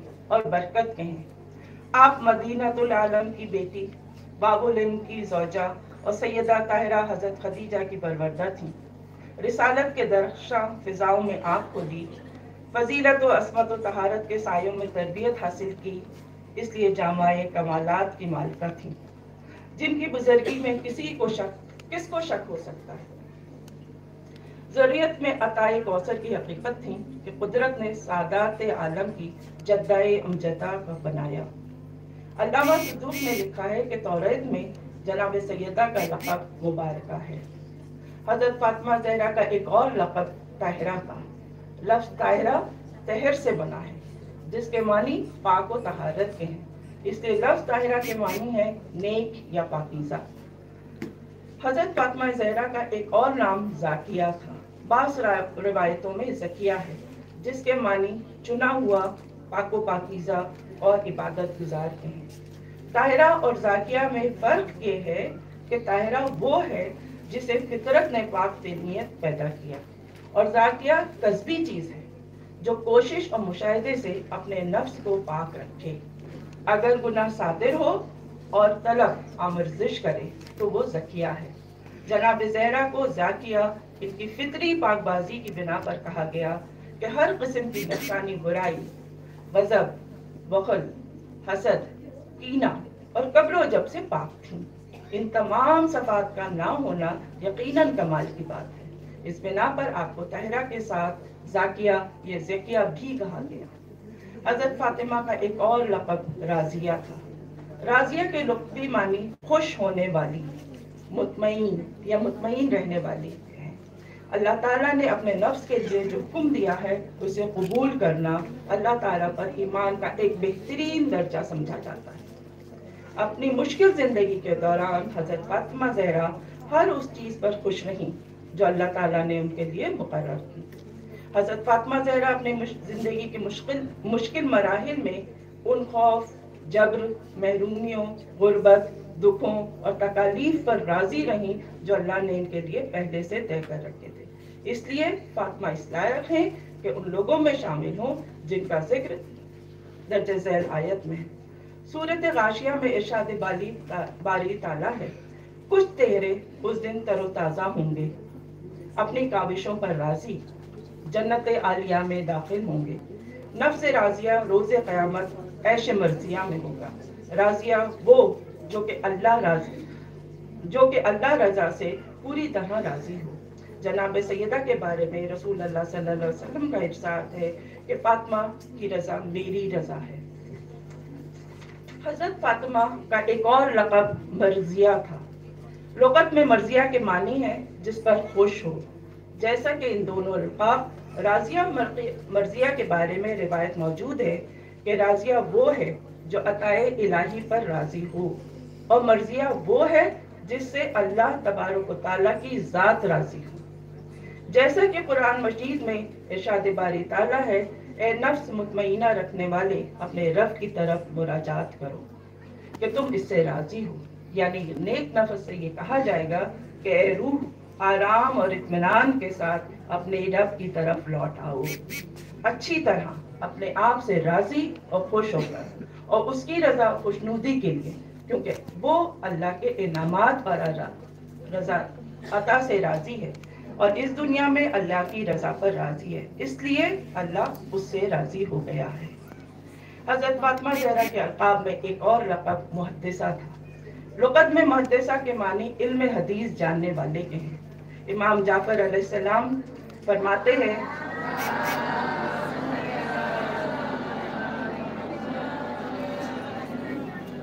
कि जनाब सैदा को मुहदसा इसलिए कहते हैं कि फरिश्ते जनाब सैदा से बात करते थे। जिस तरह वो हज़रत मरियम से बात करते थे। हज़रत फातिमा के कुछ और अलकाबात भी थे और इनमें से हर एक एक ऐसी खूबी की अक्कासी करता था जिससे वो लुत्फ अंदोज होती थी। जैसे बतूल, जिसके मानी है पाक और पाकिजा। अजरा, यानी कि पाकिजा और अलहानिया। यानी कि अपने बच्चों से प्यार करने वाली। रसूल अल्लाह सल्लल्लाहु अलैहि वसल्लम ने आपको उम्मे अबीहा का लक़ब दिया। ये बीबी फातिमा का पसंदीदा लक़ब था। उम्मे अबीहा, यानी अपने वालिद की वालदा। खुद उनकी बेटी फातिमा, जो इनकी देखभाल एक माँ की तरह करती थी। जब भी रसूल अल्लाह सल्लल्लाहु अलैहि वसल्लम जंग से वापस आते थे, या वो किसी बात से पर फिक्रमंद होते, या इनकी तबीयत ठीक नहीं होती वो कहते थे कि फातिमा ने मेरी देखभाल एक माँ की तरह की है, जैसे वो अपने बच्चों की देखभाल करती थी। वो उम्मे अबीहा हैं। हमारे पैगंबर सल्लल्लाहु अलैहि वसल्लम और उनकी बेटी कुरान में तफवीज़ करदा फ़राइज़ को पूरा करने के लिए अमली मिसाइलें कायम करते हैं। पैगंबर मोहम्मद सल्लल्लाहु अलैहि वसल्लम की बेटी फातिमा ने अपनी माँ को उस वक्त खो दिया था जब वो बहुत छोटी थी और इनकी परवरिश उनके वालिद ने की थी। इनकी परवरिश एक मुकम्मल रूहानी माहौल में हुई। उन्होंने अपने वालिद पर कुरान मजीद का नजूल देखा और इस्लाम की रूह को समझा। उन्होंने अपनी वालिद की रहनुमाई और देखभाल में तमाम खातन के लिए कुरान की तरफ़ से मुतन करता रास्ते की पैरवी की। अपनी ज़िंदगी के दौरान उन्होंने एक बेटी, एक बीवी और एक माँ का किरदार अदा किया। कुरान की तरफ़ से तफवीज़ करता फ़राइज़ की अशात की। आप तमाम खातन के लिए एक अमली मिसाल हैं। अल्लाह हमें उनके बताए हुए रास्ते पर चलने की तोफ़ी अता फरमाए। शुक्रिया।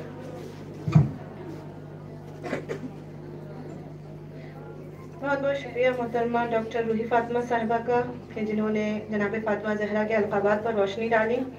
मोमिनत बेशक जनाब फातिमा जहरा के अलकाबात बेशुमार हैं, और ये अलकाबात सिर्फ़ यूँ ही नहीं मिल गए, बल्कि ये तमाम इसम इसमें बामुसम्मा हैं। मैं इसी शेर के साथ अब दावत सुखन देना चाहूँगी, मोहतरमा खुर्शीद फातिमा हुसैनी साहिबा को। ये फेस फहमे बशर का हासिल, अलिफ से अलहमद की किरण है। ये तो से ताहा के घर की रौनक बीम से मंजिले मेहन है। ये है से हर दो सरा के सुल्तान के दी की पुरनूर अंजुमन है। ये जे से जीनत ज़मीन की है, हे से हिदायतों का हरा चमन है। ये रे से रहबर रहे, वफा की अलिफ से अव्वल नसब है इसका। इसीलिए नाम फातिमा है, जनाब जहरा लकब है इसका। मैं इसी अशार के साथ अब दावत सुखन देना चाहूँगी, मोहतरमा खुर्शीद फातिमा हुसैनी साहिबा को, कि जो किसी तारुफ के मोहताज नहीं है, जो अलीगढ़ मुस्लिम यूनिवर्सिटी में मसरूफ़ खिदमत है। उनसे अर्ज़ करना चाहूँगी कि वो आए और अपने ख्याल का इजहार फरमाए। सलवार के साथ उनका इस्तेमाल कीजिए।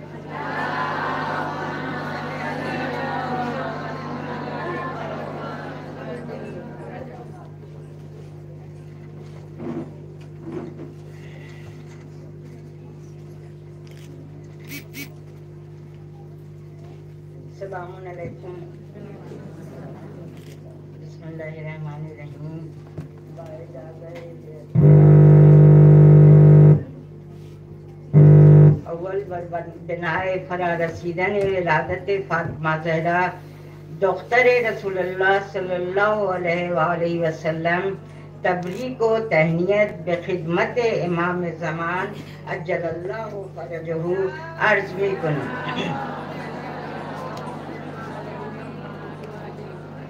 सपस बे मेहमानान अज़ीज़ व रायजनी मोहतरम जनाब आगाई डॉक्टर अली रब्बानी अर्ज़ तबलीग इन सादत बंदे ऐस के दर महजर शख्सियत है बारिज हुजूर दारा व सुखनी चंद दरबार फातिमा जहरा सलामुल्लाह अलैहा खाम गुट सिपासगुजार आगाई डॉक्टर रब्बानी हस्तम के मरा दावत करदन।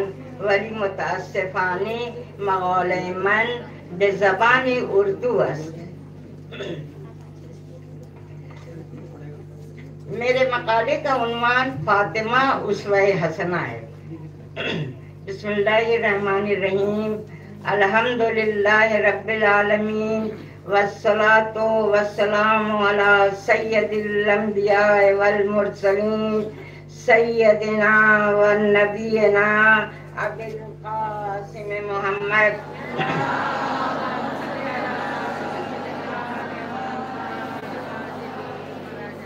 इन्ना आतैना कल कौसर, फ़सल रब कवन हर, इन्ना शानिया का होवल अबतर कुरान मजीद की ये मशहूर और मारूफ सूरा जिसकी मैंने आपके सामने तिलावत की। इस सूरह में इरशाद रब्बुल इज़्ज़त हो रहा है।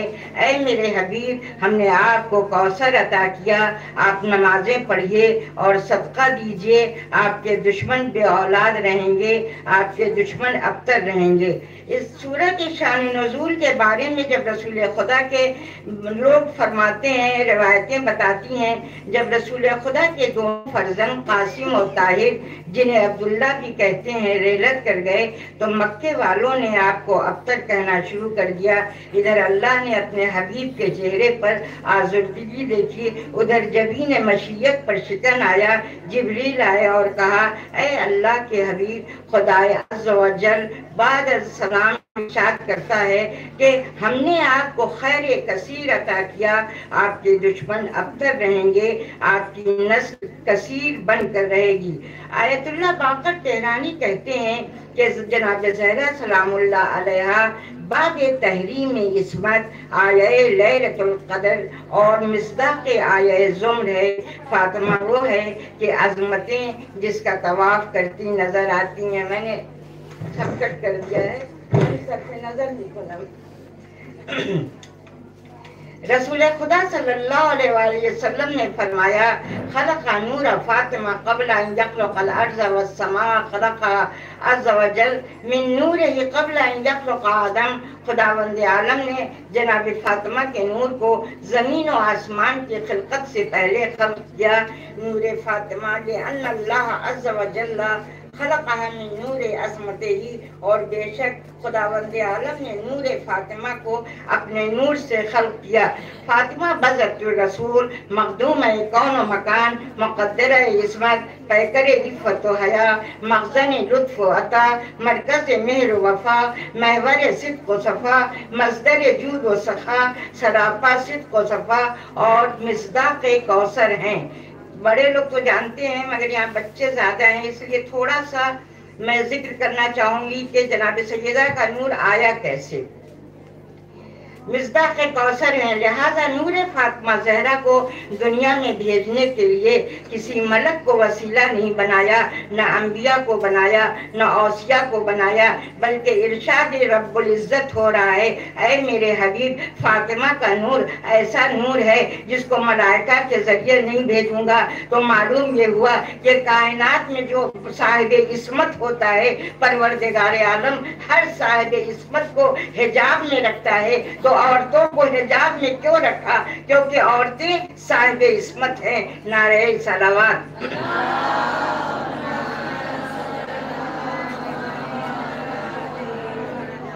तो इरशाद रब्बुल इज़्ज़त हुआ है मेरे हबीब, इस नूर को लेने के लिए आपको काबा कौसैन व अदना की मंजिल पर आना होगा। ऐ मेरे हबीब, ये नूर उसी को दूँगा जिसकी जुल्फें वल्लैल एजा सजा हो, जिसका चेहरा वल कमर एजा तलाहा हो, जिसकी जबान व मयंतक अनिल हवा, इन होवा इल्ला वायुन यूहा हो, और जिसके कदम जो हैं वह रफा आना जिसका सीना वह रफा आना लका ज़िक्र हो और जिसके कदम दना फतदल फकाना, काबा कौसैन अदना की मंजिल हो। तो अजीजान गिरामी, ये मेराज पर रसूल नहीं गए थे, बल्कि फातिमा की आमद का पेश खैमा था। खुदा का हबीब जब मेराज पर गया तो आपने जन्नत के बागों में से एक दरख्त में एक सेब देखा, जिसके नूर से पूरी जन्नत मुनवर थी। नदाय कुदरत आई, ऐ मेरे हबीब, इस फल को खा लीजिए। आपने उस फल को सीने से लगाया, उसको खाया खाने के बाद फातिमा जहरा खुद नाकिल है। ए अली, सेब खाने के बाद मेरे नूर, मेरा नूर, मेरे बाबा अफजल मुरसलीन, खातिमुन नबीन, मोहम्मद मुस्तफ़ा की जबीन मुबारक में सादे हुआ।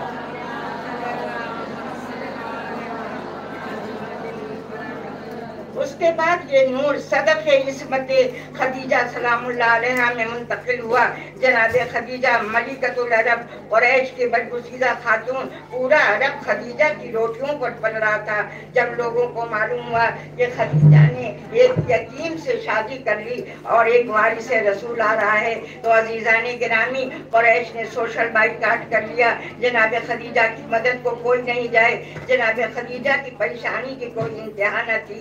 जब उनका इस्तेराब बढ़ा तो बच्ची ने शिकम मादर से कहा, अस्सलाम वालेकुम या उम्मा हो, ऐ मादर गिरामी, आप पर मेरा सलाम हो, आप परेशान मत होइए, खुदा आपका इंतज़ाम करेगा। फातिमा बिनते असद भी तो तनहा थी, खदीजा के मुस्तरिफ दिल को सुकून मिला, और वक्त विलादत जन्नत से जनाब हवा आई, जनाब सारा आई, जनाब मरियम आई, कोई आब कौसर लाया, कोई लिबास लाया, कोई सुरमा लाया, और वो अजीजान गिरामी वो शुरू कितनी मुबारक शुरू थी, जब नबी के घर मिसदा के कौसर आ रही थी। नारे सलावत।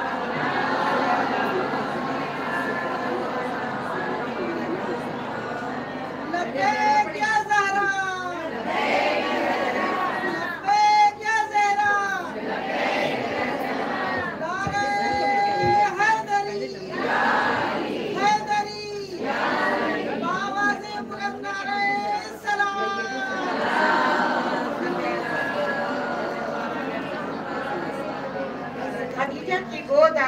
हो रही थी। अब तक का ताना देने वाले अब तक हो रहे थे। इमामत खुश थी उम्मा आई, इस्लाम खुश था, निगहबान आई आलमी निस्वा खुश था, मुहाफिज आई जन्नत खुश थी खातून जन्नत आई रसूल खुश थे नूर नज़र आई खदीजा खुश थी लख्त जिगर आई तौहीद खुश मुबाहला में मेरे यकार की मुहाफिज आई कुरान खुश मेरी मंजिल तकहीर आई और आई तो इस शान से आई फातिमा बन कर आई तो कौम को जन्नम से नजात दिला दिया और अजरा बन के आई तहारत को एक अज, अजमत मिली सिद्दीका बन कर आई सदाकत को एक मेयार मिला और शरीकतुल रसूल बनकर आई, रसूल को गम गुसार मिल गया, माँ के इंतकाल के बाद आई तो उम अबीहा का लकब मिल गया। तो अजीजान गिरामी, मैं कहूँगी कि फातिमा नूर रसालत, फातिमा जुज़ रसालत, फातिमा अम्बिया से अफजल, फातिमा औलिया से अफजल, फातिमा औसिया से अफजल, फातिमा कुल्ले कायनात से अफजल तारे सलावत।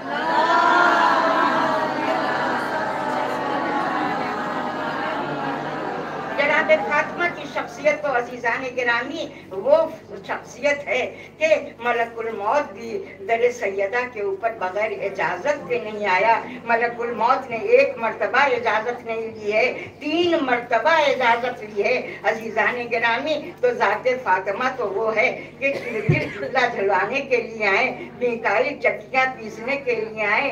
अरे रिजवान जन्नत दर्जी बन कर आए जोहरा सितारा दर सैदा पर जमी साई करे और उसके बाद से खुद रसूल जो हैं, एक दिन, दो दिन नहीं, मुसलसल दर सैदा पर जाते थे और कहते थे, अस्सलाम वालेका या अहले बैत नबूवत, अस्सलाम वालेका या मादनी रसालत. ये है जनाब फातिमा की अजमत। में बहुत सारी चीज़ों को कट कर दे रही हूँ।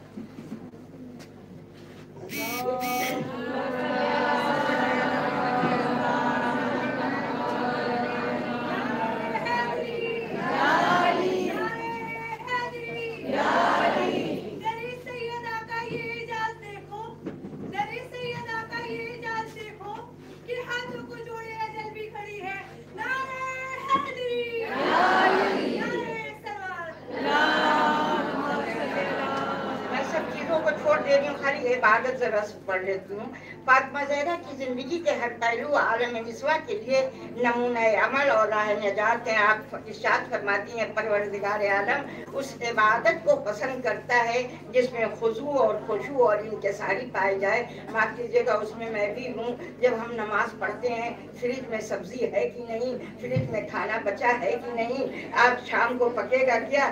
तो इससे क्या होता है, हमारी नमाज़ पढ़ते तो है, सिर्फ़ उठी बैठी करते हैं। तो जनाब फातिमा हमको दर्श दे रही है कि देखो, तुम नमाज़ पढ़ो तो नमाज़ में खुशबू भी हो, खुशू भी हो इनकसारी भी हो, और आदमी जो है बिल्कुल अल्लाह की याद में डूब कर सजदा करे। अजीजान गिरामी, माफ़ कीजिएगा, इतना बड़ा मजमा है। मैं मजलिस भी पढ़ती हूँ, मैंने देखा है कि औरतों को वज़ू करने नहीं आता है। मैंने करबला तक में भी देखा, औरतों को वज़ू करने पानी गिर रहा है, औरतें वज़ू कर रही हैं।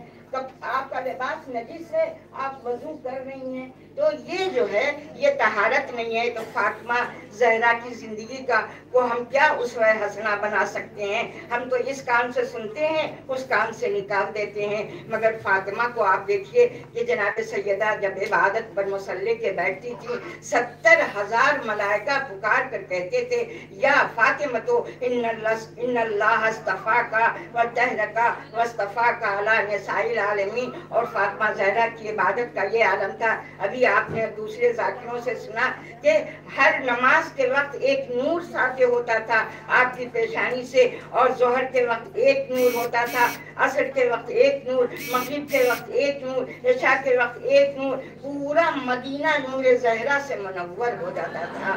नारे सलावात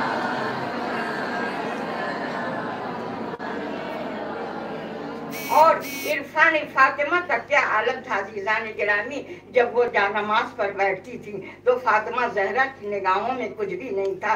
सिर्फ़ रबूबियत थी ओलूहियत थी, कुद्दूसियत थी, इसमत की शमे थी और तकदस का पर्दा था, नारे सलावात।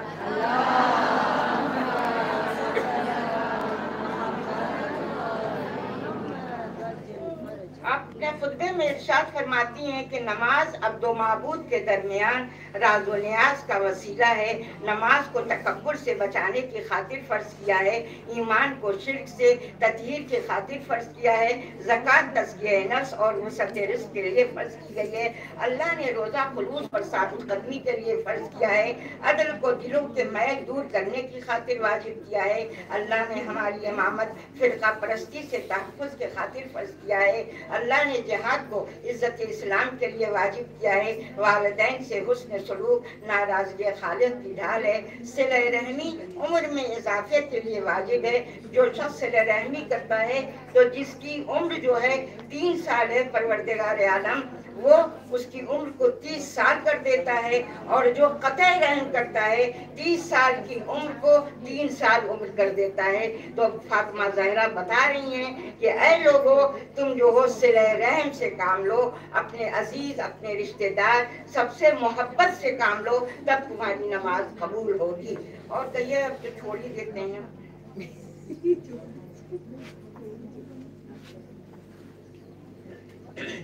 आपने आपने रबूबियत के तहफ़ के खातिर शिरक को हराम किया है। लिहाजा ए लोगों, इस तरह डरो, जिस तरह उससे डरने का हक है, जिस चीज़ का अल्लाह ने हुक्म दिया है या जिस चीज़ से अल्लाह ने रोका है, उसमें उनकी इताअत करो। लोगों, यकीन रखो, मैं फातिमा हूँ, मेरा बाप मोहम्मद है। हज़ार मरतबा ये बात कह सकती हूँ। मैं जो कह रही हूँ, गलत नहीं कह रही हूँ। आप कायनात की वो मुनफरद खातून है, जिसकी मदद में सूर्य कौसर आया तथी आया मुबायला और सूरह नाजिल हुई। आप वो मासूमा हैं जिनकी ज़ाती इसमत के अलावा उनके रिश्ते भी मासूम थे। बाप मासूम, शोहर मासूम फर्जन मासूम और उसके तारुफ का मरकज आती की जाती, ईसार का ये आलम है। फाके पर फाके करती हैं, लेकिन साहिल को महरूम नहीं किया। एक साहिला ने आपसे सवाल किया, बदन पर लिबास नहीं है, कुछ दे दीजिए। वो लिबास जो शब अरूसी पहना था, रसूल ने कहा, बेटी, उसको क्यों दे दिया? कहा, बाबा, वो साहिल है अच्छा नहीं लगा कि मैं उसकी बात को रद्द करूँ तरबियत औलाद का थोड़ा सा ज़िक्र कर देती हूँ। मासूम आलम ने अपने किरदार से वाजे किया एक अच्छी औरत वही है जो दायरे इस्लाम में रहकर अपनी तरबियत से सारे नस्ल पैदा कर दे। बच्चों की तालीम और तरबियत का आगाज़ आगोश मादर से होता है। माँ की आगोश एक ऐसा इदारा एक ऐसा इंस्टीट्यूट है जिसमें बच्चा सीखता है। इमाम खुमैनी अलैह फरमाते हैं अजदामन जन मर्द बिन मेराज रसद औरत की वजह से मर्द पर पहुँचता है। मर्द बदंगियों की मैं माँ लफ्ज माँ बेमिसल बेनज़ीर मुजस्म ईसार खलूद पैकर मेहर वफा, और इंतहाई बुलंदियों का नाम है। एक बासलाहियत माही बच्चों को महजब बना सकती है। फातमा जहरा सलाम के बारे में एक फलसफी का कौल है, अगर औरत से दुनिया की तमाम रानाइयों, उसका हुस्न जमाल, उसकी लताफत और दिलकठी को छीन लिया जाए, और उसके साथ सिर्फ़ माँ का वजूद रहने दिया जाए, फिर भी उसके हुस्न जमाल जमाल पर कोई फ़र्क नहीं आएगा। फातमा जहरा सलाम घर के अंदर रह फाके पर फाके करती थी, मगर नस्ल कायनात के हवाले की है, वो नस्ल हवाले की है, जिसका जवाब दुनिया वाले पेश करने से कासिर हैं। इमाम हुसैन ने अगर दीन को बचाया तो जनाब जैनब ने हुसैन के मकसद का तहफ़ किया। जनाब जैनब के इस्तकलाल में ये फातिमा जहरा की साले तरबियत का असर था कि हजूम मसाइब के बावजूद जनाब जैनब के इस्तकलाल में कोई फ़र्क नहीं आया। फातिमा जहरा ने पूरी सिंफ नस्वा को ज़िंदगी का सलीका सिखाया, बेटी का बर्ताव माँ बाप के साथ, जौजा का बर्ताव, शौहर के साथ, माँ का बर्ताव, बच्चों के साथ, अज़ीज़ का बर्ताव, अज़ीज़ के साथ। ये सारे हकायक शहजादी कौन के किरदार में जलवागर हैं। ये गुफ्ता मोहम्मद काजिब कजवीनी ज़िंदगी सरासर सिद्दीक़ा सलामुल्लाह सरमट है जामई बराए हमें बानुआ ने बाफजीलत के दरवजूद वो इफ़त, फजीलत परवेदारी माफो के तस्वरी तरकीब याफ्त यक बानू मलकूती व आसमान व आबी तरीन सजाया इंसानी पदीद आमदे वो बानू नमूने दख्तर नमूने, हमसर नमूने, मादर नमूने, व बिलाखरे इंसान नमूने के बाद हमें ही बानुआन फजीलत तलब दरस इंसानियत आइन हमसरदारी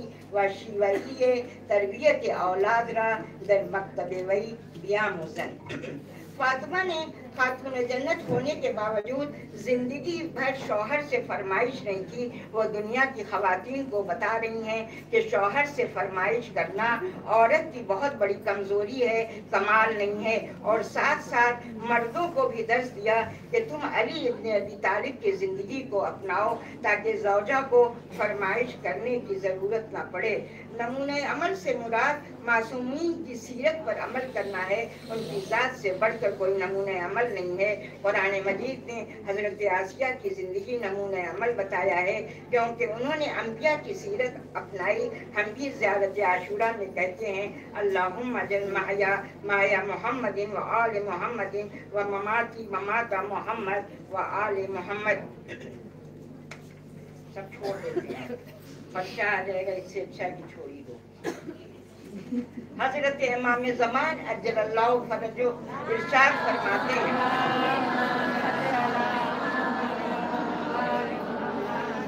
फरमाते हैं फीब नते ही रसूल हसना पैगंबर खुदा की फरजाना की ज़िंदगी मेरे लिए दरख्शंद उसवा है उसवा हसना है।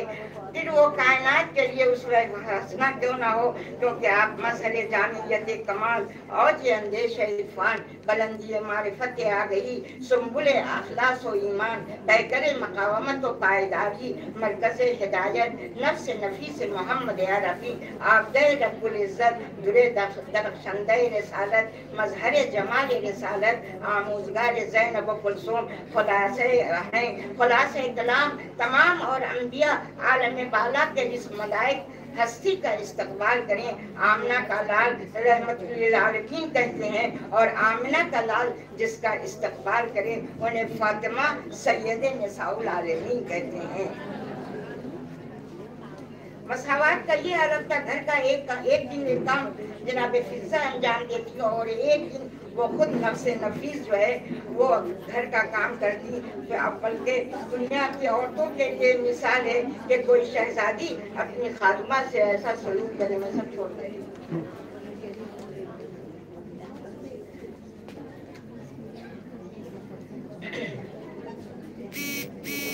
बतूल मुअज़्ज़मा मखदूम कहने कौन है? मादर हसने वो इकबाल कहते हैं कि, ए बतूल मखदूम है हसनैन क्या करूँ? ए मासूम अगर मेरे पाँव में मोहम्मदिया की जंजीर ना होती, कानून माने ना होता, वरना मैं तो आपकी बारगाहे इसमत व तहारत के खाक पर सजदे न्याज बजा लाता और आपकी कब्र अतहर का तवाब सर के बल करता। थोड़ा सा खामोशी के साथ बस खत्म हो रहा है प्रोग्राम थोड़ा सा आप रखिए और खामोशी के साथ सुन लीजिए ये फजाइल जनाब फातिमा जहरा बयान करिए थोड़ा सा बस खत्म ही करे आप घबराए नहीं मैंने सब कट कर दिया है। हाँ थोड़ा सा मैं ईरानी खवातीन है तो थोड़ा फारसी में भी पढ़ रही हूँ ये थोड़ा वो भी लुत्फ थोड़ा उठाएँ। अश्क वो हम चु शबनम रीत बर अरशे बनी। रिश्ते आईन ए हक जंजीर पास पास फरमाने जनाबे मुस्तफ़ा, वरना गिरदे तुरबदश गर तुरबतश गर्दी दमी। सजदहा बरखा के रू पाशी दमी। और वही अल्लामा अकबाल उसी का वो बतला रहे हैं कि, ए बतूल मौजमा, मखदूम है, कौन है? मादर हसनैन, मैं क्या करूँ? ए मासूम है, कौन है? अगर पाँव में शरीयत मोहम्मदिया की जंजीर ना होती, कानून इलाही माने ना होता, वरना मैं तो आपकी बारगाह है। इस बतो तहारत के खाक पर सजदे नियाज बजा लाता और आपके कब्र अतहर का तवाफ सर के बल करता। आपके आँसू तो बीबी वो आँसू हैं कि जिबरील ज़मीन से ले जाकर शबनम की तरह अर्श पर बिखेर देते हैं। अर्श के ऊपर चीज़ जिबरील ज़मीन, हम जो शबनम रीख पर अरशे बनी।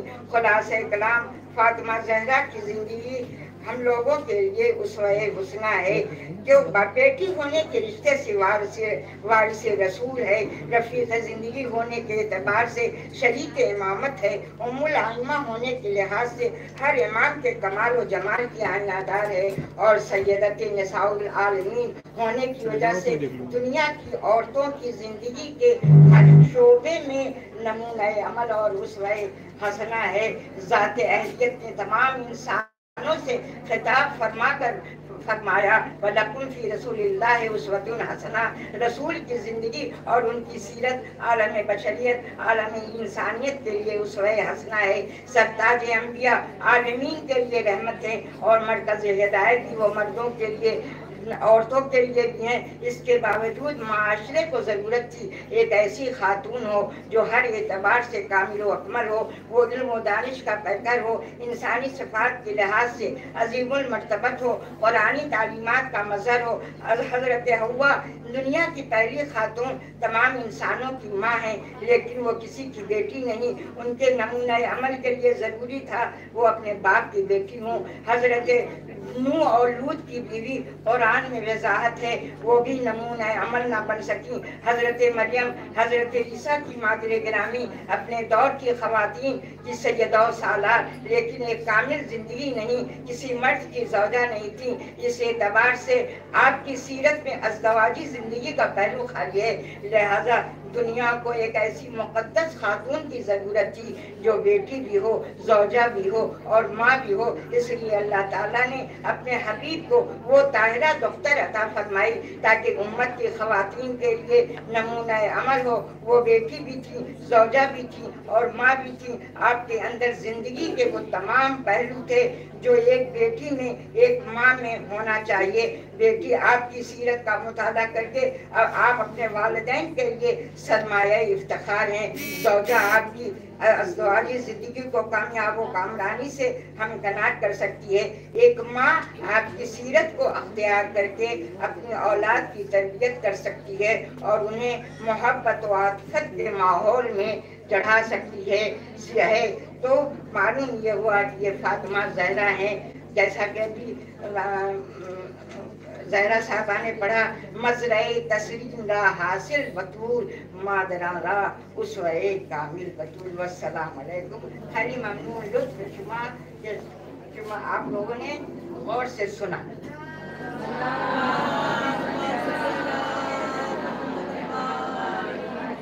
बहुत बहुत शुक्रिया मोहतरमा खुर्शीद फातिमा हुसैनी साहिबा का, कि जिन्होंने बहुत बेहतरीन अंदाज में जनाब फातिमा जहरा के फ़जाइल और जनाब फातिमा जहरा की ज़िंदगी पर रोशनी डाली। मोमिनात अभी सशार के साथ मैं दावत सुखन देना चाहूँगी मोहतरमा फिरदौस जवा साहिबा को कि जहान इंसानियत में तोहीद का मुक़दस ख्याल जहरा, शरफ में वहदत, अदा इमामत, जबी नबूवत, जमाल जहरा। हो जिस पे नाजा, दिले मुसविर वो नक्श हुस्ने कमाल जहरा। खुदाए बेमिसल की खुदाई मेता अबद बेमिसाल जहरा। ये शम इरफान ईजदी है, ये मरकज आले मुस्तफ़ा है। हसन से मेहदी तलक इमामत के सिलसिले की ये इब्तिदा है।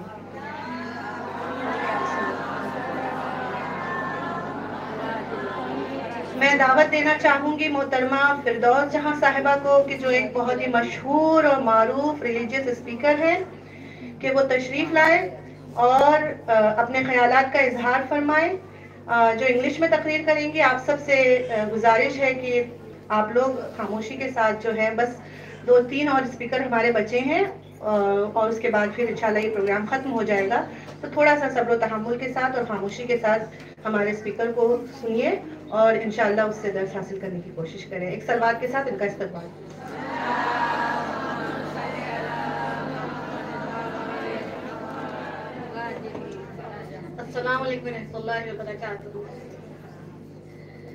First of all, I would like to congratulate our living Imam and all the presenters here on this auspicious occasion of blessed birth of Lady Fatma Zahra Salamullah alaiha.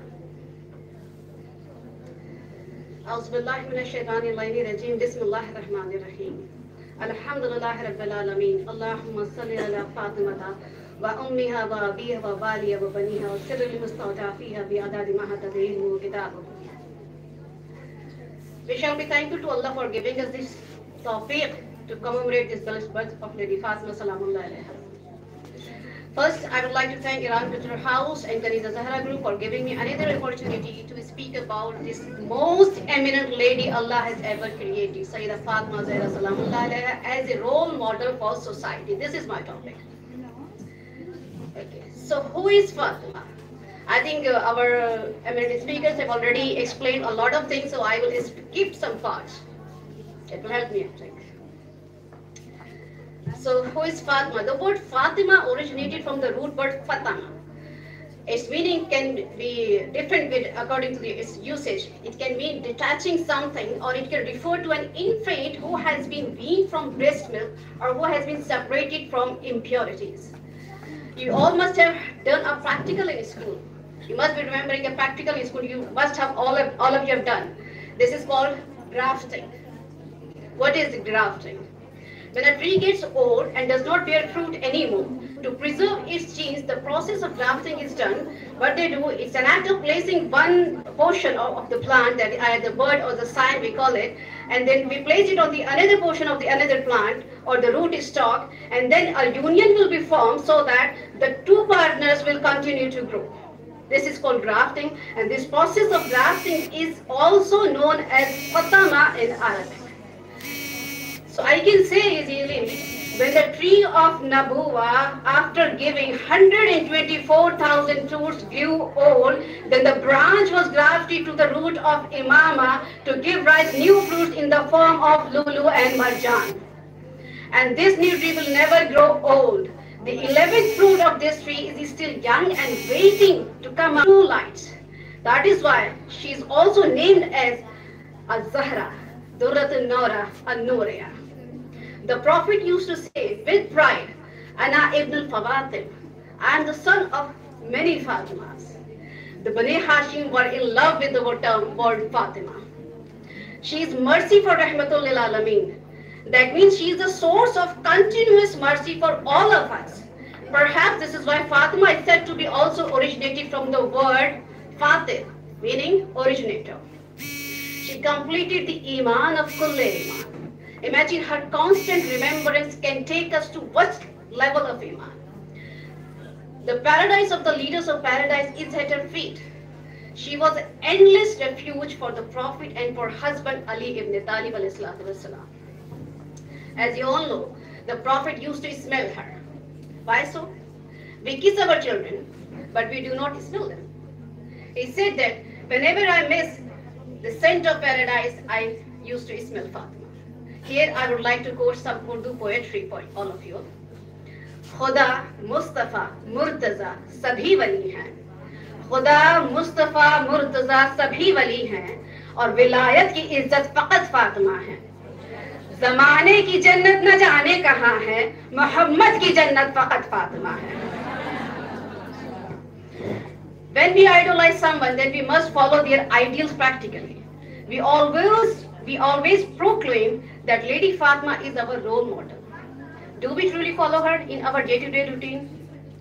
If we don't, then we do not have any right to claim such a thing. The best proof of our claim is our actions, our amal. Another mistake we make is that we limit her to only female members of society.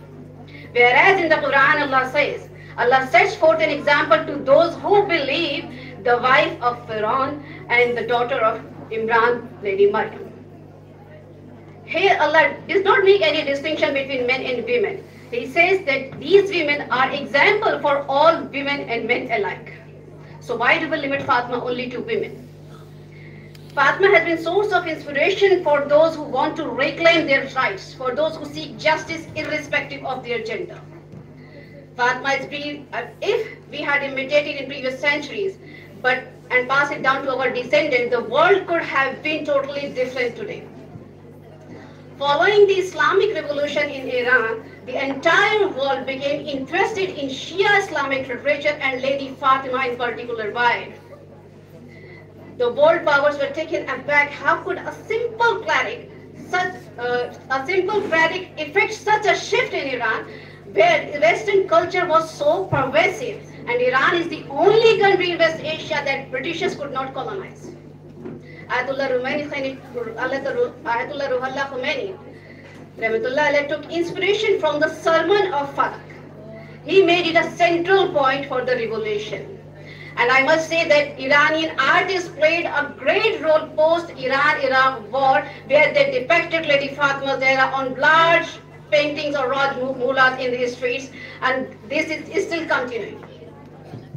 Later, Ayatollah Khomeini stated that from the Islamic point of view, women have sensitive roles in the formation of an Islamic community. Islam promotes a woman to the extent that she can recover her human status in the community and cast off her status as an object and commensurate with such growth, she can assume responsibilities in developing the Islamic government. Following the revolution, the literacy rate among women increased dramatically. Why can't we bring such a change here? It is because despite the university degrees, we are ignorant of our responsibility as a Muslim and as followers of Lady Fatima Allah did not create us just so that we would mess around and unleash our desires. Nor did He create us just to eat and drink and then die. Rather, He created us to shoulder responsibility towards Him, towards ourselves, and towards the lives around us. There is a huge moral gap between education and personal conduct. Education without morals is like a knife in the hands of a monkey. All conscious mind should think so much, should think that we have advanced so much scientifically and technologically, but the moral standards have gone down. Crime rates have increased tremendously in all fields of work. The US and other Western countries have one of the highest depression rates in the world. Why do these so-called developed countries have such high rates? Why do they look for intoxicants to shrug off their worries? Instead of answering why behind this, the West keeps coming up with innovative ways to distance from reality. All right, you are, you are sick. You are sick with the real world. So create your own imaginative world using augmented reality, virtual reality, metaverse, and so on. New ways of seduction or new age intoxicants, I call them. Will Durant, the famous Western sociologist, says, City life prevents men from observing the seasons, while sexual passion increase and conditions make, make indulgence easier. A civilization that makes marriage economically impossible before the age of 30 drives a man to sexual deviation, weakens continence, and reduces purity from its original esteem as a virtue to distance lip service, as an impractical dream. Art enhances human, human beauty. Men ceases to count their sins. Women claiming equality with men fall prey to passions. Love affairs are unlimited and premarital relations have become a rule rather than the exception. These streets may be free of prostitutes, but not through the fear of police. It is because the women have bankrupted prostitutes by taking over their business for free. Imagine, this is the freedom Western civilization has provided to women. And the result is, I guess that more than 50% of their population is illegitimate. What should be expected from such, a, such an immoral society?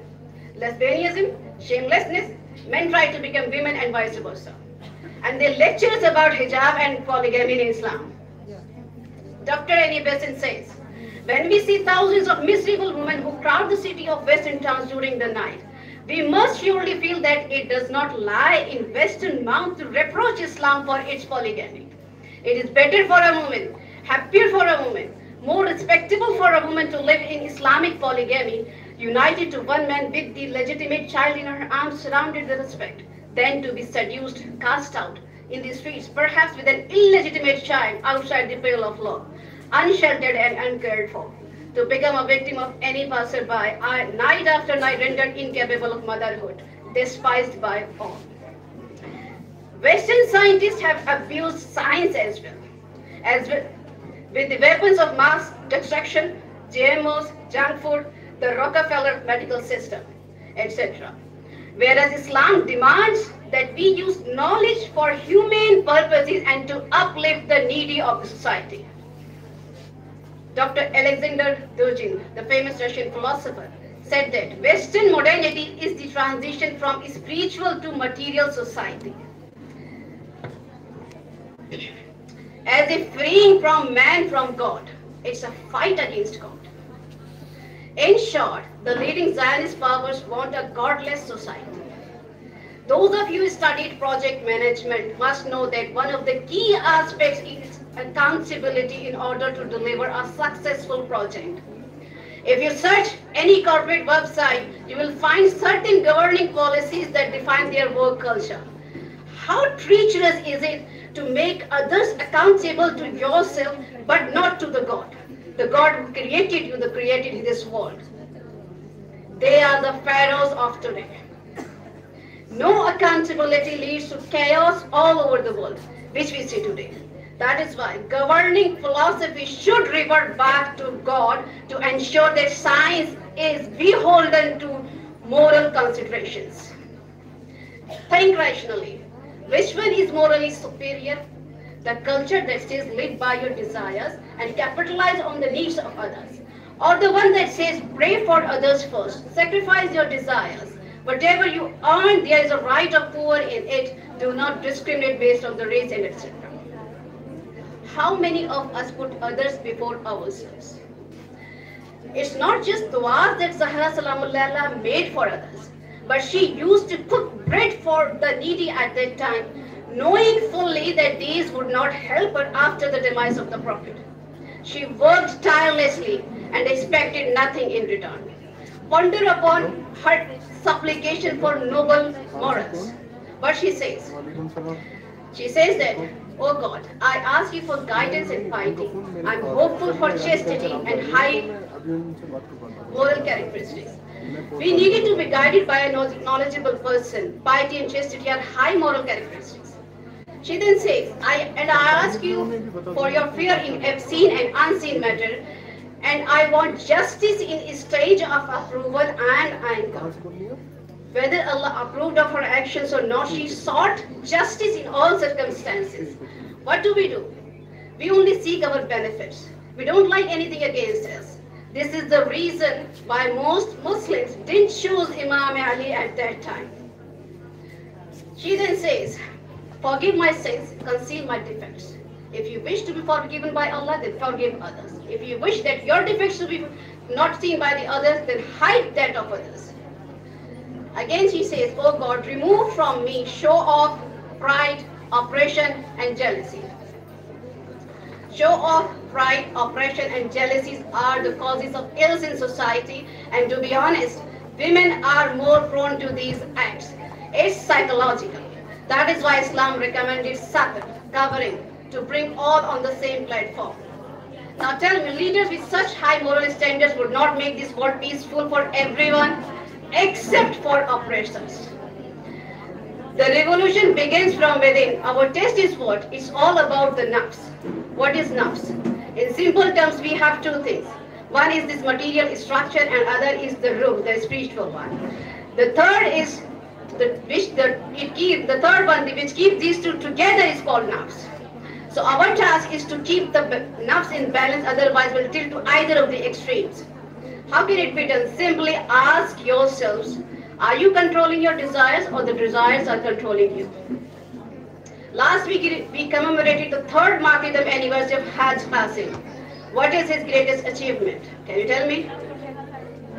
It's easier to build drones and missiles, but it's much tougher to bring different mindset onto the same platform. This is what he did from Iran to Syria to Lebanon to Iraq to Palestine to Yemen and etc. What was his academic qualification? As far as I know, he was a high school grad.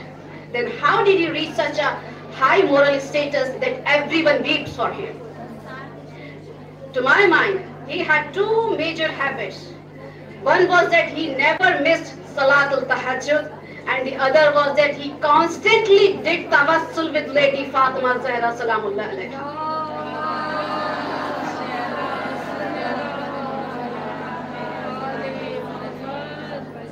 A person doesn't become faqih by memorizing thousands of books, but by practicing 100% of what he knows. Fatima is the leading light to bring about that desired change. Imam Ali says that masses behave righteously through justice. Injustice is the, is the root cause of an immoral society. Lady Fatima fought for justice. It was unjust to leave Islam in incapable hands. She knew that they would return to their old ways. That is why when she started her khutbah, she taught those ignorant people the philosophy and logical reasoning behind divine commandments, such as faith has been set so as to cleanse you of polytheism. Salat is prescribed to keep you away from pride. Zakat has been prescribed to purify oneself and results in increase of sustenance. Some fasting has been prescribed to genuineness may be reinforced. Hajj has been prescribed to establish the religion and justice is prescribed to establish proper harmony among the hearts. I'm skipping the other parts. If the, the logical reasoning Zahra provided there, if we can implement or establish these values on earth, would not it become a paradise here? She inspires us to acquire philosophical knowledge so we, we may not become a cause of immoral norms in the society. Almost all Western writers have made a comparison or drawn a parallel between Lady Fatima and Lady Maryam Salam. And it is natural that they try to try to keep Lady Maryam above Lady Fatima. Even some Muslims succumb to their lack of knowledge in this regard. I am putting a question to all of them. There is a place named Fatima in Portugal In 1917, a miracle happened, which was widely reported back then. A lady brighter than the sun appeared to three kids on the, those kids were playing on the ground. The children reported a prophecy that prayer would bring an end to the Great War, the World War One. It was the time of World War One. And that lady would reveal her identity and perform a miracle on May 13 of that year, so that all might believe. She told them her name was Fatima. Their prejudices could not let them believe that she could be anyone other than Lady Maryam. Then I asked, please show us a single scripture where Maryam was ever called Fatima. They twisted it in so many ways but could not change the name itself. Many visitors realized this truth and tried to know the real Fatima. A lady prayed at their place for a child. The newborn child was a girl. Later, when her mother talked about how she was born, the girl started visiting that place on a regular basis, and she gradually realized that this Fatima is not Lady Maria. And she started looking for the answer. After that, she started having dreams about a mosque-like place, and she started looking for that mosque everywhere. While she was living in London, one day she found that place. Can you imagine what was it? It was a Husainiya in London. And today she is, alhamdulillah, a practicing Shia Muslim. Allah never abandons a person who harbors feelings for Lady Fatima. Janabe Hur was guided only because of the respect he had for Lady Fatima. She was a knowledgeable, eloquent, and fearless lady who lived a humble and simple life. Do you know how many patches were there in the chadar of Zahra? and Amantabad, the girl, um, uh, Mahatma recited some. There were 72 patches in the chadar of Zahra Salam Alaiha, as if she was making room for each of the Imam Hussein's companion in her paradise. Imam Jabir Sadiq says,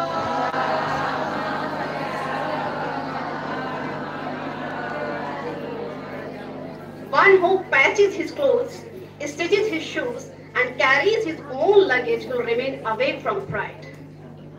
Imagine if you are repairing your old clothes in the house and a Zahra comes and sits beside you, looking at you with a loving smile and says, That is how I stitched my son's shirt. Wallah, I do not miss such an opportunity in exchange for all the treasures of this world. What could be better than being a reason for her smile and comfort? And what could be worse than uh, for being a reason of her discomfort? She says, the one who sends up to Allah his pure and sincere worship, Allah will determine the best expedient for him.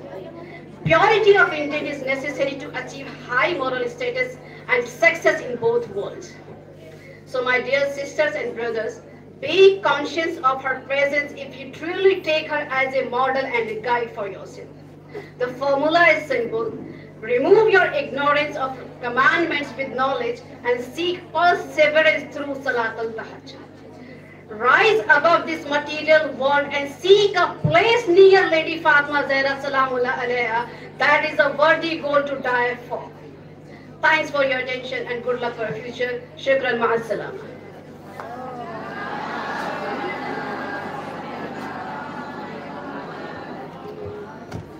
बहुत बहुत शुक्रिया मोहतरमा जहाँ साहिबा, जिन्होंने बहुत बेहतरीन अंदाज में जनाब फातिमा जहरा सलाम की सीरत पर रोशनी डाली। मैं आप तमाम मोमिनात से गुजारिश करना चाहूँगी थोड़ा सा तहमुल से। हम यहाँ पर आए हैं कॉन्फ्रेंस में जनाब फातिमा जहरा सलाम की ज़िंदगी से कुछ दर्ज लेने के लिए। और हम यहीं पर अभी भी हम अपने किरदार से ये ज़ाहिर कर रहे हैं कि हमारे अंदर अभी तक सीरत फातिमी के एक गोशा भी हमारे वजूद में अभी तक नहीं आया है। क्योंकि खातन जिस तरह से जा रही हैं, कुर्सियाँ उठा उठा के खूब पता चल रहा है कि यहाँ पर हम, हमारे अंदर कितना पेशेंस है, कितना सब्र है और तहमुल हमारे अंदर पाया जाता है। मैं जान रही हूँ वक्त हो गया है, लेकिन थोड़ा सा बस खत्म हो रहा है प्रोग्राम ये मेहमान खसूसी जो आए हैं, ये जो कुछ आपके सामने बयान कर रहे हैं, बहरहाल उनकी तशवीक और उनकी हौसला अफजाई के लिए आप लोग थोड़ा देर खामोशी के साथ बैठिए और प्रोग्राम अपने अख्ताम पर पहुँच रहा है, बस। इसी शेर के साथ मैं दावत सुखन देना चाहूँगी मोहतरमा सुसन जहरा साहिबा को कि जो एक बहुत बेहतरीन मुबलगा और जाकिरा हैं कि वो तशरीफ़ ले और जनाब फ़ातिमा जहरा सलाम की ज़िंदगी के मुतालिक कुछ और गोशों पर जो है वो रोशनी डालें। कि है अली और भी किरदार में हैदर के सिवा, है अली और भी किरदार में हैदर के सिवा, आप देखिए बहुत सारे हमारे यानी जितने भी अइमे मासूमीन हैं, सब जो है वो अली हैं। यानी इमाम अली के बाद इमाम हसन भी अली, इमाम हुसैन भी अली हैं। तो है अली और भी किरदार में हैदर के सिवा, फातिमा कोई नहीं, बिनते पैम्बर के सिवा। और किसमें हिम्मत है रखे मोहरे नबूवत पे कदम, तेरे बच्चों के अलावा तेरे शौहर के सिवा। और रख दिया कातिबे तकदीर ने लिखे ये कलम, रख दिया कातिबे तकदीर ने लिखे ये कलम। मर्ज़ी जहरा ज़रूरी है मुकद्दर के सिवा। एक सलवात के साथ इस्तेमाल करिए मोहतरमा सुसन जहरा साहिबा का।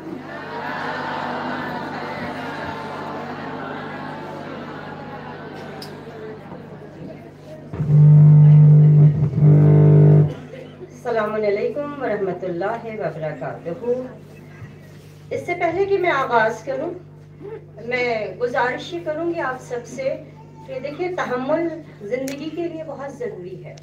और टाइम था दस बज के तीस मिनट। सेमिनार शुरू होने का। और सेमिनार आपका शुरू हुआ है ग्यारह बज के छः मिनट पर।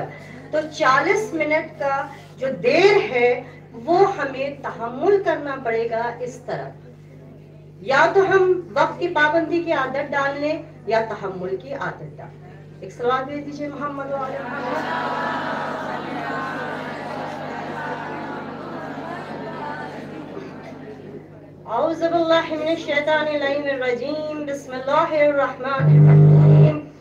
अल्हम्दुलिल्लाह रब्बिल आलमीन वस्सलातु वस्सलामु अला सय्यदिना व मौलाना व बिल qasim मुहम्मद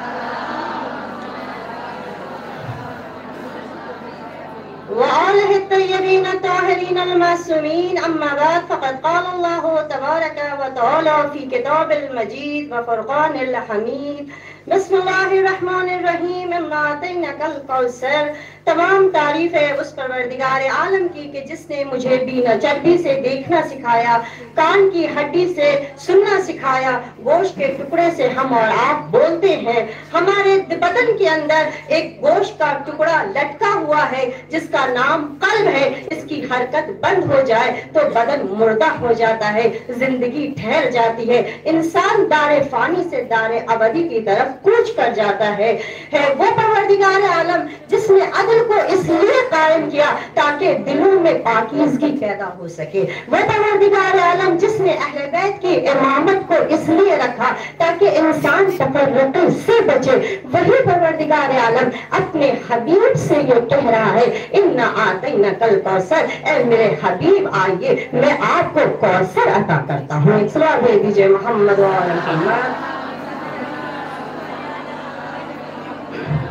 आइए अजीजान गिरामी। ये थी हम दोस्तना मेरे परवरदिगार आलम की।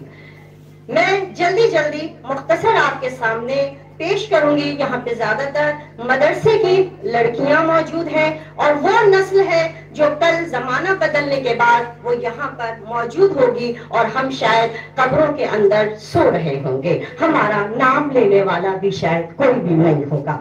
तो अब सुनिए जिजानी ग्रामी जनाब फातिमा जहरा सलामुल्लाह की ज़िंदगी जो है, वो हमें ताकत बख्शती है, हमें फलसफा देती है, हमें इखलाक की तालीम देती है, हमें औलाद लेने का सलीका सिखाती है कैसे? आप देखिए, जनाब फातिमा जहरा, सलामुल्लाह अलहर से पहले। जनाब रसूल खुदा के दो फर्जंद हैं। वो बात अलग है कि वफात हो गई। तवज्जो कर ले दो फर्जंद हैं जनाब रसूल खुदा सल्लल्लाहु अलैहि वसल्लम के। और दोनों की वफात हो गई। लेकिन जब बात कौसर को देने की आई, जब बात सिद्दीक ताहरा को देने की आई, जब बात बिजत रसूल की आई, मर्जिया ताहरा मुहदसा की आई तो अब यूँ ही नहीं दे दिया। ये खास औलाद, ये खास नूर, ये खास पैटर बशर जो है, वो यूँ ही नहीं दे दिया। कभी मेराज पर बुलाया, कभी चालीस दिन का छिल्ला खींच लिया। तो अब आप कहेंगे, ये तो हम बहुत और हम बहुत सुनते चले आ रहे अब सुनिए अजीजा ने अगर मुझे और आप आपको ऐसी औलाद चाहिए जो कुत बाजू हो।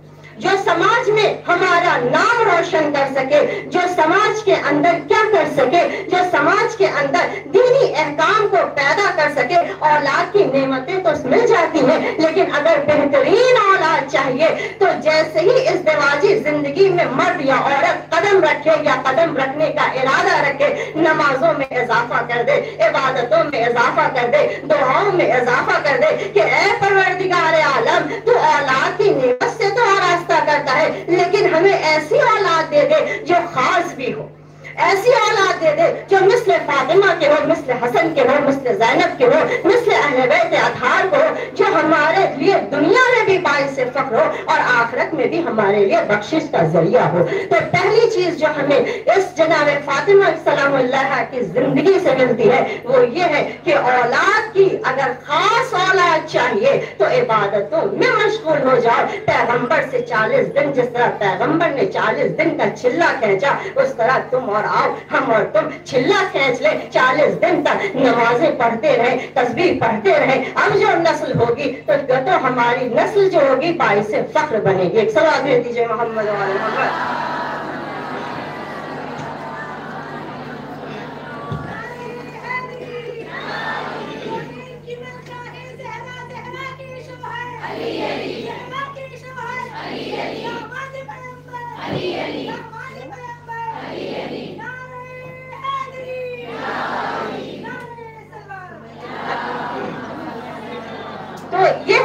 अजीजा निगरानी औलाद औलाद कैसे लेनी चाहिए? औलाद की बेहतरीन औलाद अगर चाहिए तो उसमें ये करना चाहिए, आइए दूसरा पॉइंट मैं जल्दी जल्दी आगे बढ़ूं। मुझे भी जो है वो शौक नहीं है आप लोगों को बहुत ज़्यादा बिठाने का। सुनिए अजीजा निगरानी। के दूसरा नंबर आता है, औरत की ज़िंदगी। मैंने वहाँ से लिया है कि औलाद की नेमत लिया, फिर मैंने लिया वहाँ से कि जब हम और आप शादीशुदा ज़िंदगी में कदम रखते हैं।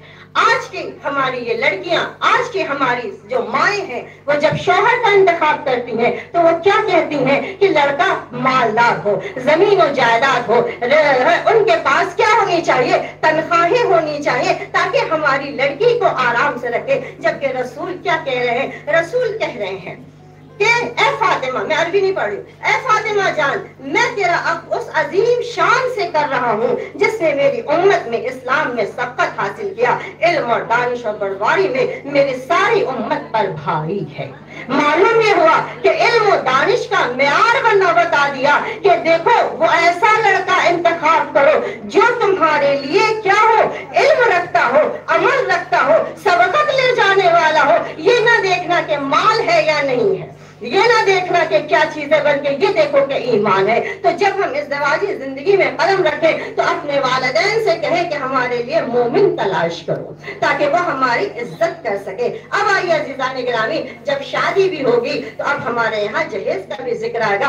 अवाम जो है वो परसेंटेज की है तो मैं भी आपके सामने बता दूँ, आप सब जानते हैं, और तमाम ओलमा जाकरीन पढ़ते, पाँच सौ दरहम, पाँच सौ दरहम खर्च जो है, वो मेहर फातिमा था। सवाल यह है मेहर फातिमा, में से खर्च कितना हुआ जहेज के ऊपर? क्या कभी हमने गौर किया? वो माए आकर कहती, क्या करें? हमें कुछ मदद कर दीजिए, बेटी की ख्वाहिश है, फला सूट दे दिया जाए, बेटी की ख्वाहिश है, फला जहेज दे मैं ये सामान दे दिया जाए। हम जनाब फातिमा के मानने वाले हैं, हम ख्वाहिशात करने वालों में से नहीं है। न जनाब फातिमा ने बाप से ख्वाहिश की, न मरने के, ना, न शादी के बाद शोहर से ख्वाहिश की। बस आपके सामने मैं अर्ज़ करूँ की आप देखिए जनाब फातिमा का महर पाँच सौ दरहम। और उसमें जो जहेज पर खर्च किया गया है महर से, वो कितना है? तिरसठ या तिहत्तर? तिरसठ दरहम की ज़्यादा तादाद है कि आपका जो जहेज खरीदा गया, वो तिरसठ दरहम का है। तो आज के जमाने में जो परसेंटेज का जमाना है, उसमें कितना खर्च हुआ? बारह से तेरह परसेंट खर्च हुआ। अब आप सुनिए 12 से 13 परसेंट सिर्फ़ शादी में खर्च हो रहा है। जब हम समाज में निगाह उठाकर देखते हैं तो पता यह चलेगा कि वालदेन मकरूज हो रहे हैं, वालदेन जमीनों को बेच रहे हैं, लड़की की शादी के लिए। ये मेरा और आपका एक औरत होने के नाते फ़र्ज़ बनता है कि हम ये कहें कि हमें रस्म और रिवाज से निकलना है, क्योंकि जनाब फातिमा ने रीत और रिवाज को खत्म किया है। हम ये कहें अपने वालदेन से कि हमें 12 परसेंट से ज़्यादा शादी का सामान नहीं दीजिए जितनी आपकी इनकम है, उससे ज़्यादा आप खर्च न करें। तो अजीजा ने गिरामी शादी का मैार बता दिया, एक रकम बता दिया कि इससे ज़्यादा न खर्च करना। अब सुनिए अजीजान गिरामी। एक और सवाल दे दीजिए मोहम्मद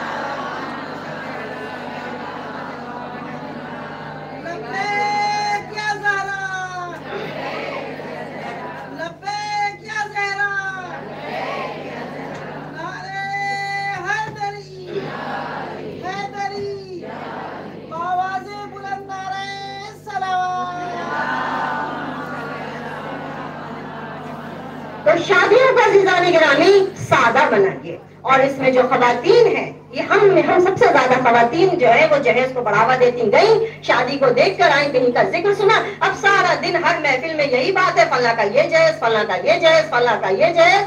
आप ये क्यों नहीं ज़िक्र करती हैं कि नहीं इस तरह से जहेज को बढ़ावा नहीं देना चाहिए? अगर जनाब फातिमा के मानने वाले हैं तो अपने अपनी जितनी भी इस्तेदाद है और आपको सामने छोटी सी मिसाल पेश कर दूँ जो मेहर फातिमिया है वो आजकल जो है वो आ, कुछ जो है बीस हज़ार या इक्कीस हज़ार समथिंग है।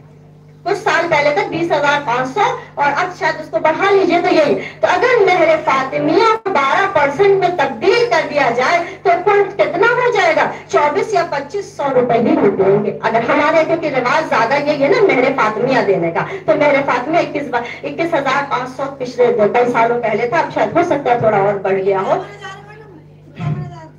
नहीं, एक दिए मोहम्मद वाले मोहम्मद। अब आइए अजीजानी गिरामी, मैं जल्दी जल्दी अर्ज़ करूँ कि जनाब फातिमा जहरा हमें क्या नज़र आ रही हैं? हमें जनाब फातिमा जहरा, आप सोचिए, वो औरत जो जिसका बाप खत्म हो चुका हो, जिसके शोहर के गले में रस्सी डाली गई हो, वो जनाब फातिमा जिसके घर पे मलाइका के आने का फ़िलहाल रास्ता बंद हो गया मलाइका रुक गए हम वो शहजादी जब दरबार में जाती है, जिसका बाप खत्म हुआ हो। और हमारे यहाँ देखा गया क्या? अरे, हमारा बाप खत्म हो गया, हमारा शोहर खत्म हो गया। हम क्या करें? हमारे अज़ीज़ खत्म हो गए। अब तो दिल ही नहीं करता कुछ करने का। जनाब फातिमा के वालिद मोहतरम को इंतकाल हुए कितना दिन है? मुश्किल से एक हफ़्ता या चार दिन हुआ है। वो फातिमा जो, जो यतीम हुई है लेकिन जब दरबार खिलाफत में जाती हैं। और मेरा मौजू यही है कि जनाब फातिमा के खुद फतक को से हम किस तरह से अपने अंदर बेहतरीन सिफात पैदा करें? तो अब जनाब फातिमा जहरा जब दरबार में आ रही है तो रोती हुई नज़र नहीं आ रही। गड़गड़ाती हुई नज़र नहीं आ रही है। बल्कि तोहीद की हम दो सिना करने के बाद नबूवत का दिफा कर रही है। ऐलान नबूवत कर रही है। नबूवत की पैरवी कर रही है। अब आप बताइए, हम और आपको अगर वकील की ज़रूरत पड़ जाए, हमें और आपको जबान नहीं आती हो, हम और हमें आपको गवर्नमेंट के कागजात बयान करने पड़े तो हम किसकी तरफ़ जाते एक वकील का इंतखाब करते हैं ना। वकील को लेते तो जनाब फातिमा दरबार में वकील की हैसियत से अपने बाबा का दिफा कर रही है, जिसके लिए मैं आपके सामने और जनाब फातिमा ने दो दो चीज़ों पर रोशनी डाली। जब नबी आए, एक मुख्तसर सा इसको एक जुमले में, जब हम नबी की तारीफों को पढ़ते हैं तो बहुत सारे नबियों को जो है, वो यहाँ के ऊपर वक्तन फवक्तन इल्म दिया गया। वही आई, है ना? लेकिन जनाब फातिमा ने क्या कहा? अजमेर अल्लाह के बंदे हैं। इस दुनिया में रसूल बनाकर भेजे गए और मुंतखब किए गए। जब तमाम मखलूकत पर गैर में पोशीदा थी और हिजाब अदम में महफूज थी, उस वक्त भी मेरे बाबा तला, तमाम मसाइल हवादिस जमाना की मुकम्मल मार्फत रखते थे। तो जिसने जनाब फातिमा के इस खुतबे के खुतबे फदक की इस लाइन को पढ़ लिया, वो कभी ये नहीं कहेगा कि मेरा रसूल उम्मी है। मेरा रसूल क्या है? पढ़ा लिखा नहीं क्योंकि तो जनाब फातिमा कह रही है कि मेरा बाबा मार्फत की तकमील को लेते हुए इस दुनिया में आए हैं और उन्होंने हिकमत को जारी किया और दीन को मुकम्मल किया। क्या कोई यतीम बच्ची इस तरह से बोल सकती है। जिसका तीन चार दिन पहले बाबा खत्म हुआ हो। तो ये ये जनाब फातिमा तो हमें शुजात बख्श रही है। ये कह रही है कि ठीक है, तुम यतीम हो हो जाओ, कोई बात नहीं। लेकिन तुम्हें अगर ज़रूरत पड़े तो नबी का दिफा करो, ज़रूरत पड़े तो अपने बाबा का दिफा करो। अब आइए अजीजानी ग्रामी दूसरी चीज़ क्या कह रही है? दूसरी चीज़ जनाब फातिमा जहरा, अपने बाबा के बारे में क्या बता रही है? कह रही तुम थे कौन? क्या थे तुम? कहा, जब रसूल ने उम्मतों को देखा, जब अब खाकी बशर में इस दुनिया में आ गए तो रसूल ने क्या देखा अपने आसपास? ये हमें जनाबे फातमा बता रही है। क्या देखा? कहा, लोग मुख्तलिफ़ अधियानों में घिरे हुए लोग परस्ती में थे। लोग आग की पूजा कर रहे थे। तो बस मेरे बाबा ने तुम्हें क्या किया? अपने जुल्मतों को रोशन कर दिया।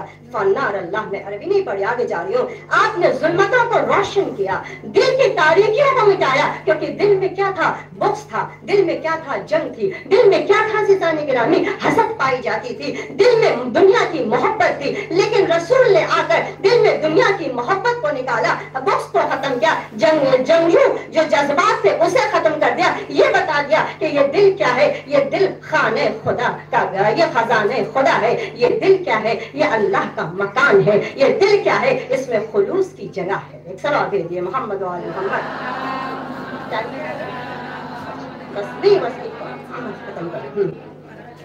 आइए अजीजान गिरामी हिदायत के लिए क्याम में खड़े हुए आँखों से पर्दों को हटाया, लोगों को गुमराही से निकाला अंधेपन से बाबसीरत बनाया, दीन को मुस्तकम किया वगैरह वगैरह, ये सारे जाके आप जनाब खुद फिदक में पढ़ लीजिए। अब आइए, अब क्या कह रहे हैं? कह रहे जनाब फातिमा, एक तारीख दां बस जल्दी से, बहुत ज़रूरी है। और मैं माजरत चाहती हूँ, जो इस तरह के सेमिनार होते हैं, जो पहले पढ़ते हैं, वो बिल्कुल ख्याल नहीं करते बीस बीस मिनट पच्चीस पच्चीस मिनट पढ़ते हैं, नहीं अजीजान गिरामी, ये सोचना चाहिए कि जो बाद वाले हैं, उन्हें भी एक मौका मिलना चाहिए। अब सुनिए अजीजान गिरामी, क्या कहा? कहा कि दरबार में जनाब फातिमा एक तारीख दान यानी मालूम ये हुआ कि हम औरतों को क्या करना चाहिए? अपने जमाने के और अपने आने वाले जमाने, अपने जो गुजरे जमाने हैं, उसकी हिस्ट्री पर ध्यान रखना चाहिए।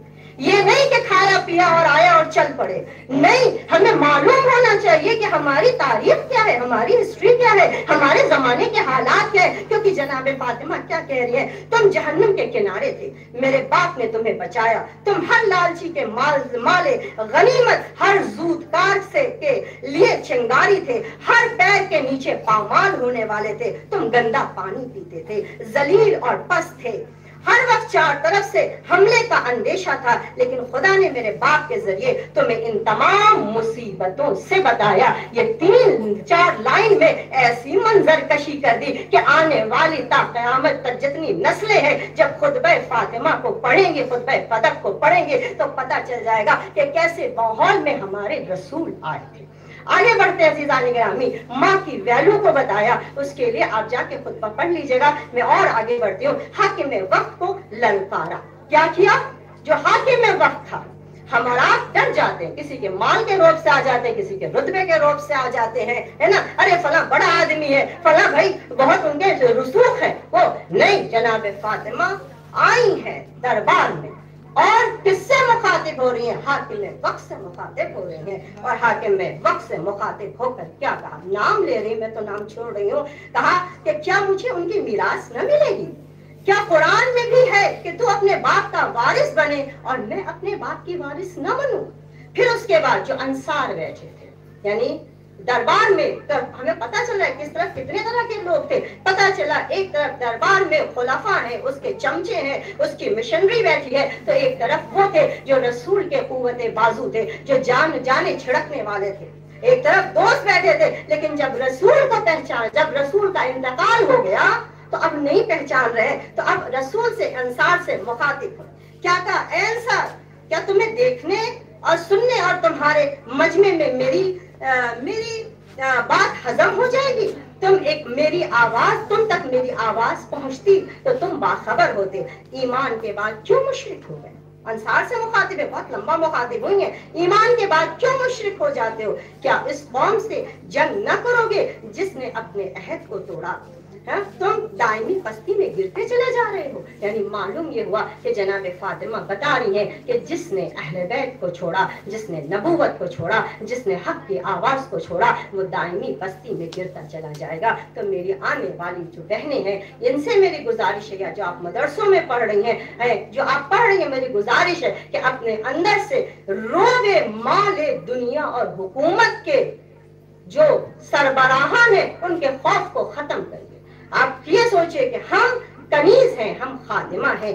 आइए अजीजानी गिरामी, जनाब फातिमा, क्या कह रही हैं? हम तुम भी अमल करो, मैं भी क़यामत का ज़िक्र कर रही हूँ। ता खुदा तुम्हारे करतूत को देख रहा है। खलीफे वक्त से भी मुखातिब हुई और अंसार से भी मुखातिब हुई ता खुदा तुम्हारे करतूत को देख रहा है और अनकरीब जालिमों को मालूम होगा कि मालूम होगा, मैं तुम्हारे उस रसूल की बेटी हूँ, जिसने अजाब शदीद से डराया है। अब तुम भी अमल करो, मैं भी अमल करती हूँ। तुम भी इंतज़ार करो और मैं भी वक्त का इंतज़ार कर रही हूँ। और इसी के साथ जनाब फातिमा एक जगह कहती हैं क्या कहती हैं अपने खुतबे में? अना, ये लोगों, जान लो कि मैं फातिमा हूँ। जैसे ही ये लफ्ज आया तो पता चला फातिमा इज़्ज़त रसूल है। फातिमा कौन है? फातिमा वो है जो हम इन, हम औरतों को शर्म हया की का, ये नहीं कहती कि तुम शर्म हया की चादर में घुस गिर जाओ। जनाब फातिमा कहती हैं, शर्म हया की चादर रखो,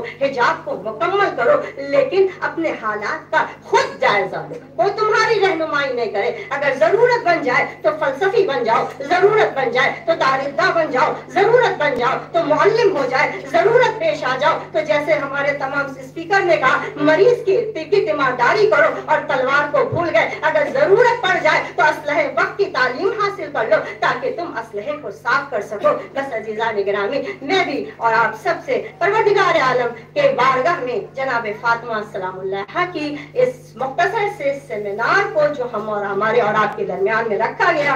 मैं दुआ करती हूँ कि परवरदिगार आलम, तुझे वास्ता है अपनी शहजादी फातिमा जहरा सलामुल्लाह का। हमारे इस मुख्तसर से सेमिनार को कबूल फरमा लेना।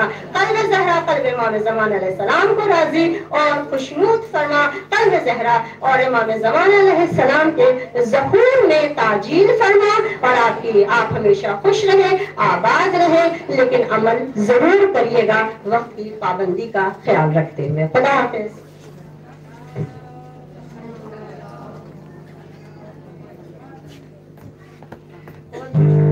मोहतरमा सुसन जहरा साहिबा बहुत बेहतरीन अंदाज में आपने हमारी बच्चियों को पैगाम दिया परवरदिगार आलम उसकी जजाय खैर दे और हम सबको इस पर अमल करने की भी तौफीक अता करे।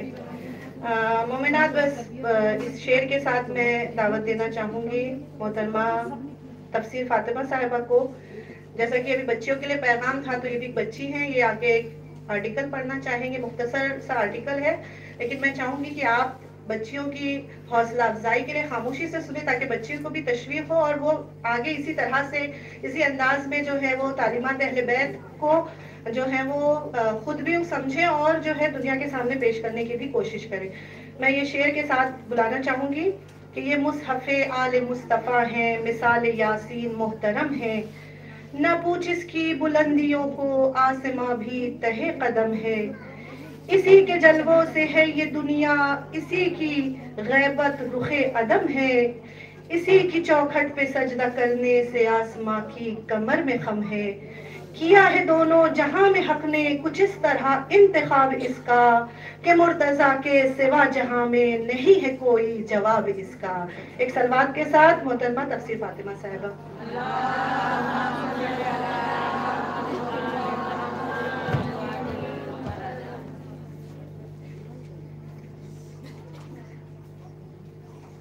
Assalamu alaikum.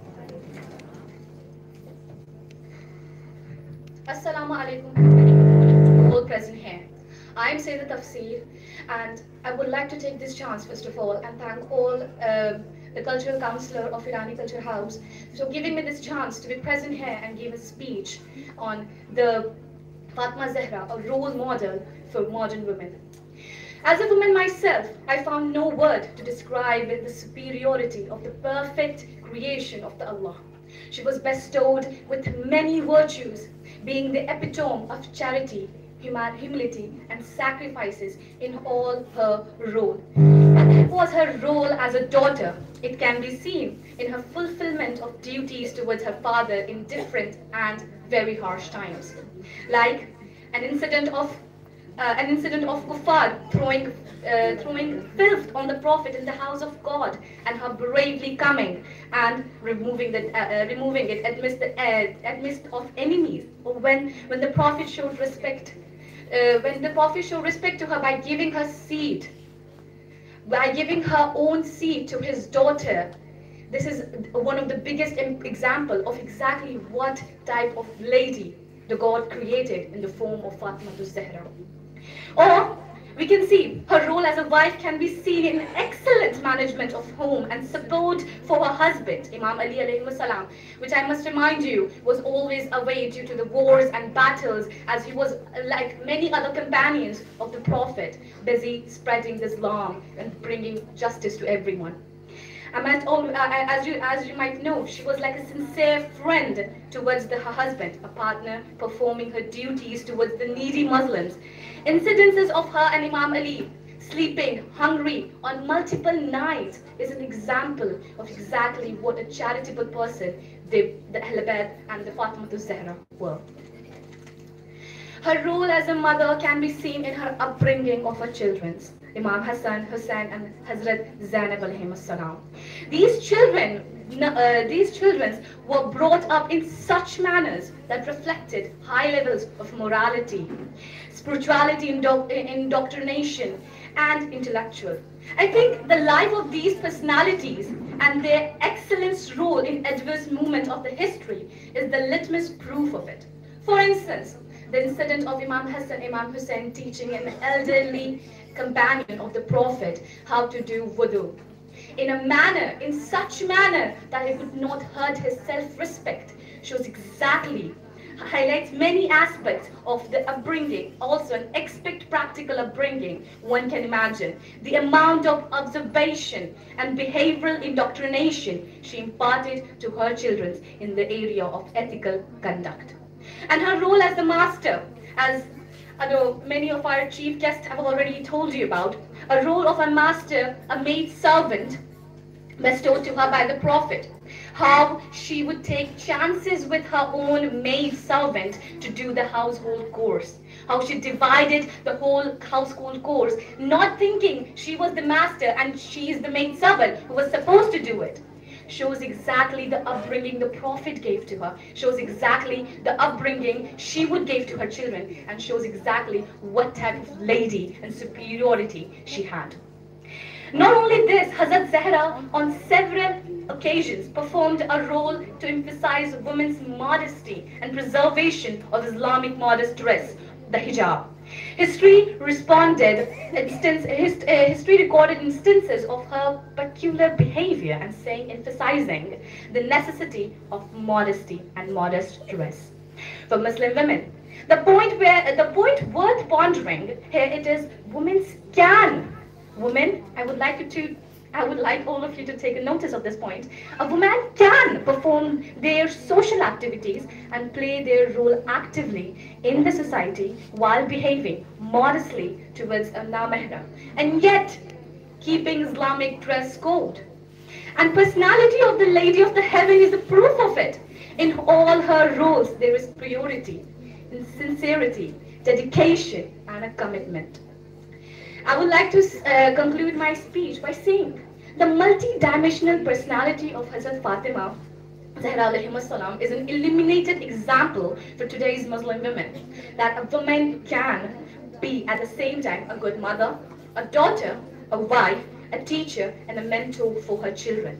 A volunteer, a social worker, or a distributor of wealth, a property among destitute and needy of the society a compassionate housemaster, a model of self-sacrifice to give away any, to give away any of the possessions in the way of God, a promoter of Islamic modest dress and a modest woman. A mujahida in the time of war and abida, praying to God at night and much more. Setting Hazrat Zahra uh, as a role model, a woman can perform all these different circumstances whether the society is at peace and hardship, or whether the member of the societies are hostile, or whether the support from the creatures is lost. And when the only hope is with the God, the Almighty, life of the Hazrat Fatima is certainly a bright guiding star under all the circumstances for a Muslim woman. And with this, I would ask you a question and would leave you with the answer. You would find the answer on your own and would describe your own life in the way of Hazrat Fatima. Is that if a lady in Saudi Arabia, a desert, a desert in Saudi Arabia with no such thing that we have, the technologies, can perform all these multi-dimensional tasks, then why can't we? Why does we think a hijab cannot uh, or can be a hurdle in our way of success, of choosing our path? Why does we think if we do hijab, we cannot pursue a career? Look at yourself. You want to say that you cannot achieve it? Look at Hazrat Fatima. At the time when she lost her father, everyone was against her. But did she stop wearing her hijab? Did she went to the court of uh, court for the justice to bring the the We all have heard about it, right? Did she go to the court without the hijab? I would like you to leave the answer. I would like to leave you with the answer to find for yourself is that if she can, then why can't we? Thank you all of you.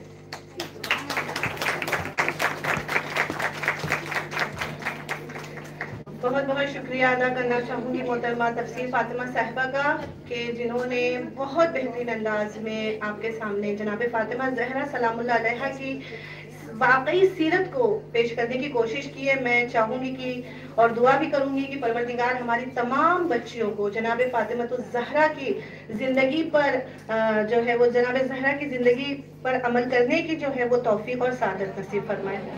अब मैं दावत सुखन देना चाहूँगी मोहतरमा सितवत नकवी साहिबा को कि वो तशरीफ़ ले आए और अपने ख्याल का इजहार फरमाएँ। एक सलवार के साथ इनका इस्तेमाल कीजिए।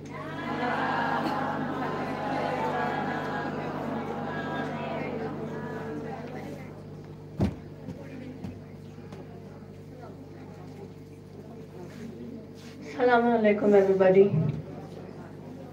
I hope you are um, enjoying and I'm so you know I also know that आप सब लोग tired हो गए होंगे बहुत but as I have been um, invited so मैं कुछ कहना चाहूँगी in fact एक poetry है हज़रत फातिमा ज़हरा की uh, Mother's Day का occasion it's as it is a Mother's Day so I would like to recite a poetry about Hazrat Fatima Zahra it's dedicated to her And uh, one lady uh, before this girl who talked about the khutbah fidak, the sermon of fidak. Fidak का khutbah, it's not just a khutbah. ये पूरी आपकी life को बदल सकता है हर class में जो लोग इंस्टीट्यूशन चला रहे हैं मेरी उनसे रिक्वेस्ट है कि शहजादी के खुतबात को बाकायदा तौर पे सिलेबस में डालें और स्ट्रिक्टली इन पर वर्कआउट करें और एक्सप्लेन करें अपनी स्टूडेंट्स को ताकि ये चीज़ फैलाई जा सके। सिर्फ़ नमाज़ और रोज़ा नहीं बताइए, बाकायदा तौर पर उनके खुद बताइए। खुतबों में बहुत कुछ मौजूद है। इतना छुपा हुआ है, कुरान छुपा हुआ है। आधे खुतबे हज़रत इस्लाम के, इनके मैंने पढ़े मोस्ट ऑफ़ इट कुरान होता है। कुरान की तफसीर होती है इनके खुतबों में। सो इट इज़ बेटर कि आप उसको बाकायदा तौर पे क्लासेस में एग्जीक्यूशन करें उनका। उसको फैलाइए अच्छे से। सलवात एक मैं शहजादी के लिए पढ़ी थी please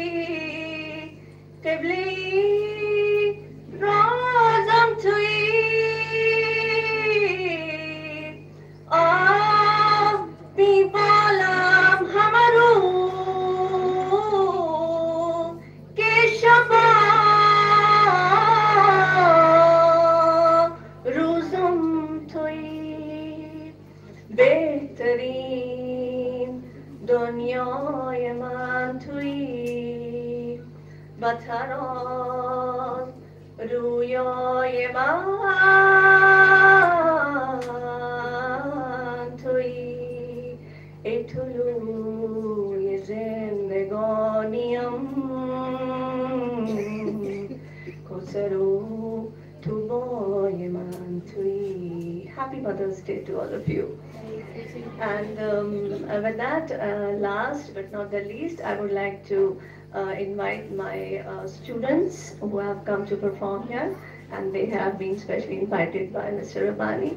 Uh, please, all of you, come on stage. Hajar, Calabia, Hudaybia, Kulsum, Fauzia, Fizal, Loma. Come on, everybody. Come here, please. One by one. Uh, please recite a salawat for them. Huh?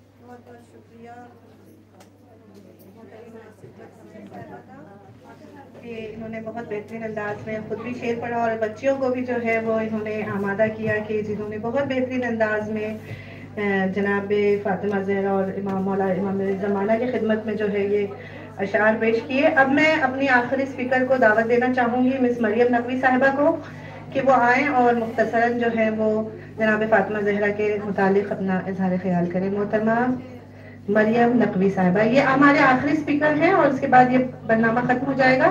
तो बस थोड़ी देर के लिए आप लोग और patience से तहमुल के साथ बैठ जाइए। एक सलवार के साथ इस्तेमाल करें।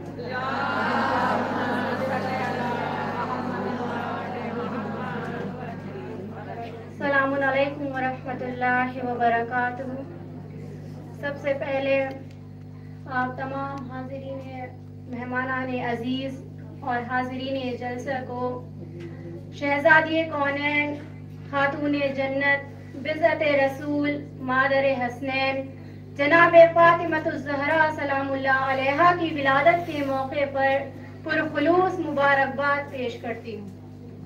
अऊज़ु बिल्लाहि मिनश शैतानिर रजीम, बिस्मिल्लाहिर रहमानिर रहीम। अल्हम्दुलिल्लाहि रब्बिल आलमीन, अस्सलातु वस्सलामु अला अशरफिल अंबिया'i वल मुरसलीन। व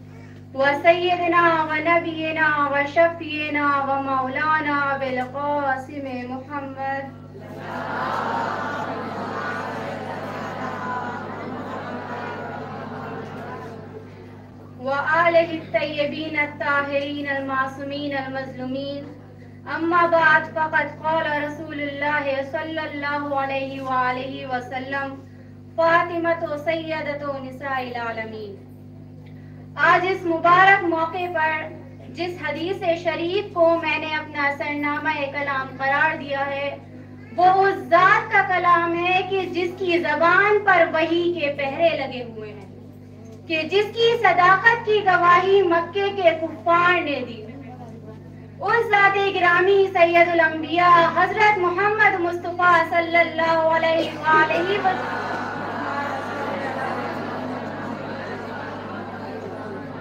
जाते का इरशाद है कि फातिमतो सैयदतो निसाइल आलमीन। खुद सरदार अंबिया अपनी पारे जिगर जनाब फातिमा जहरा अलैहा की फजीलत बयान करते हुए इरशाद फरमा रहे हैं कि फातिमा जहरा आलमीन की औरतों की सरदार हैं। ये हदीस बज़ाहिर मुख्तसर ज़रूर है। लेकिन रसूल अकरम ने फजाइल शहजादी कौनैन के समुंदर को एक कूजे में समेट दिया है। आप जरा गौर फरमाएँ कि अल्लाह के रसूल ने शहजादी कौनैन को सिर्फ़ मक्के की औरतों की सरदार नहीं फरमाया, या सिर्फ़ मदीने की औरतों की सरदार नहीं फरमाया, या सिर्फ़ अरब की औरतों की सरदार नहीं फरमाया, या सिर्फ़ मोमिन औरतों की सरदार नहीं फरमाया। बल्कि अल्लाह के रसूल ने जनाब फातिमा जहरा को आलमीन की औरतों की सरदार फरमाया। जिस तरह अल्लाह रब्बुल आलमीन है, यानी आलमीन का रब है, अब चाहे कोई माने या न माने, मगर अल्लाह सबका रब है, रब्बुल आलमीन है। उसी तरह रसूल रहमतुल्लिल आलमीन है। यानी आलमीन के लिए रहमत है, अब चाहे कोई माने या न माने, मगर हुजूर सबके रसूल तो बस जिस तरह अल्लाह रब्बुल आलमीन है और रसूल रहमतुल्लिल आलमीन है, ठीक उसी तरह खातून जन्नत जनाब फातिमा जहरा सैयदतुल निसाइल आलमीन है। दरूद पढ़े मोहम्मद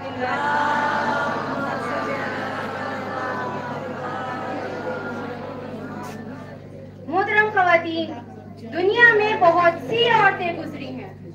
कोई किसी एक कौम के लिए नमूने अमल बनी कोई किसी एक मज़हब के लिए नमूने अमल बनी, कोई किसी एक मुआशरे के लिए नमूने अमल बनी, लेकिन आज तक कोई खातून ऐसी नहीं गुजरी कि जिसकी सीरत आलमीन की तमाम औरतों के लिए नमूने अमल बन सके।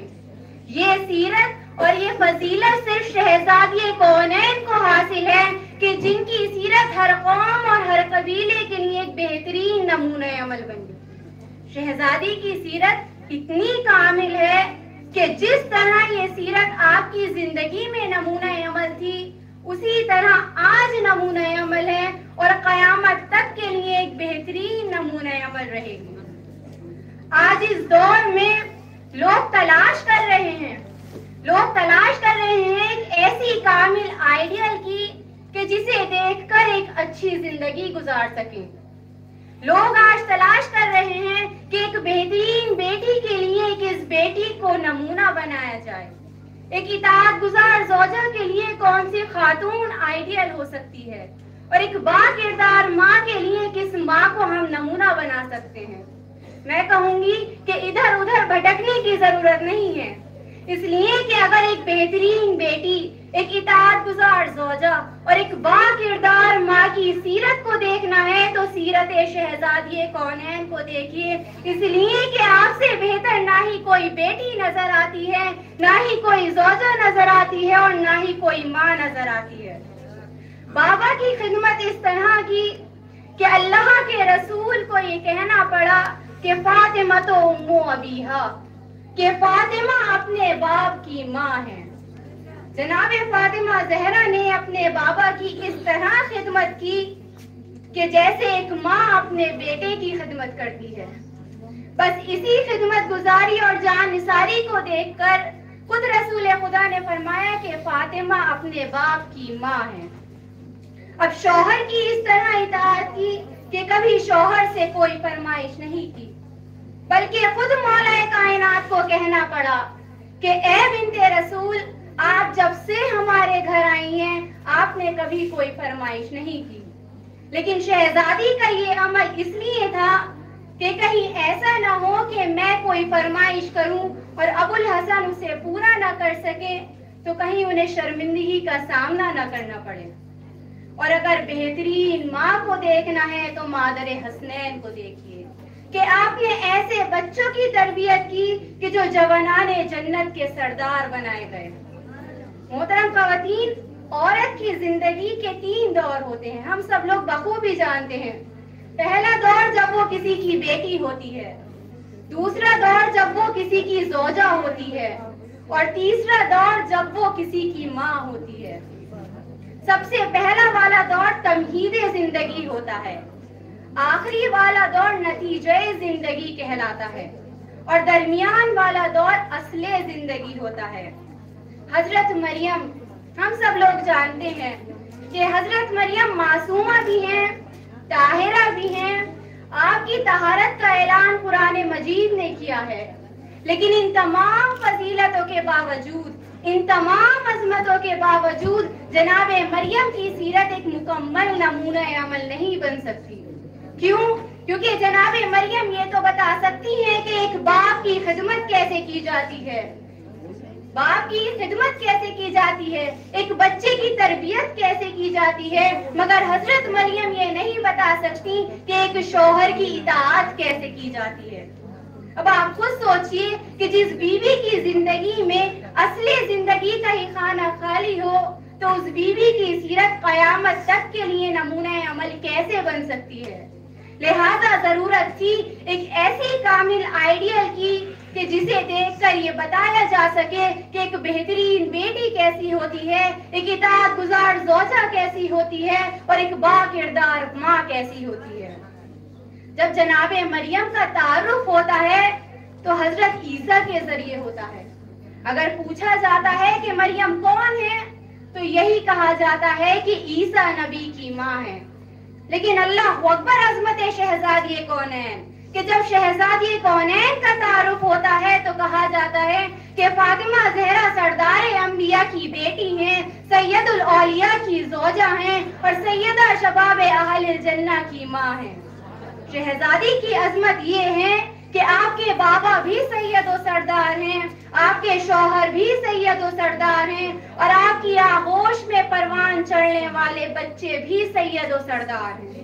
जनाब फातिमा जहरा सियादत की उस बुलंदी पर फाइज हैं कि जहाँ सियादत जनाब फातिमा जहरा का तवाफ करती हुई नज़र आती है। आज ताजुब है उन खवतीन पर कि जो इस अजीम सीरत को छोड़कर किसी गैर मासूम की सीरत को अपना आइडियल बनाती हैं। ताजुब है उन खवतीन पर। आप जरा सोचिए कि एक गुनहगार औरत को आइडियल कैसे बनाया जा सकता है। आप खुद सोचिए कि एक गुनहगार औरत को एक गुनहगार औरत को अपना आइडियल कैसे बनाया जा सकता है?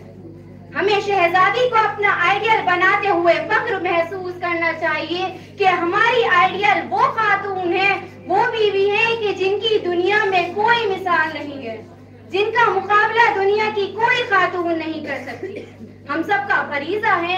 हम सब की रिस्पॉन्सिबिलिटी है कि हम अपनी सोसाइटी में सीरत फातिमा जहरा को आम करें। हमारा घर फातमी होना चाहिए। हमारी जिंदगियाँ फातमी होनी चाहिए। हमारा लिबास फातमी होना चाहिए। हमारा पर्दा फातमी होना चाहिए। हमारा कल्चर फातमी होना चाहिए। हमारे यहाँ शादियाँ फातमी होनी चाहिए। हमारे शब रोज फातमी होने चाहिए। हमारा ज़ाहिर फातमी होना चाहिए। हमारा बातिन भी फातमी होना चाहिए। दुरूद पढ़े मोहम्मद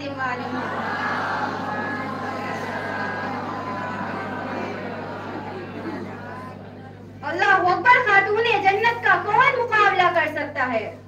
ये वो अजीम बीवी है कि जिनके लिए अल्लाह का रसूल इरशाद फरमा रहा है कि फातिमा तो बज़अतु मिन्नी। कि फातिमा मेरे जिगर का टुकड़ा है, मेरा जुज है।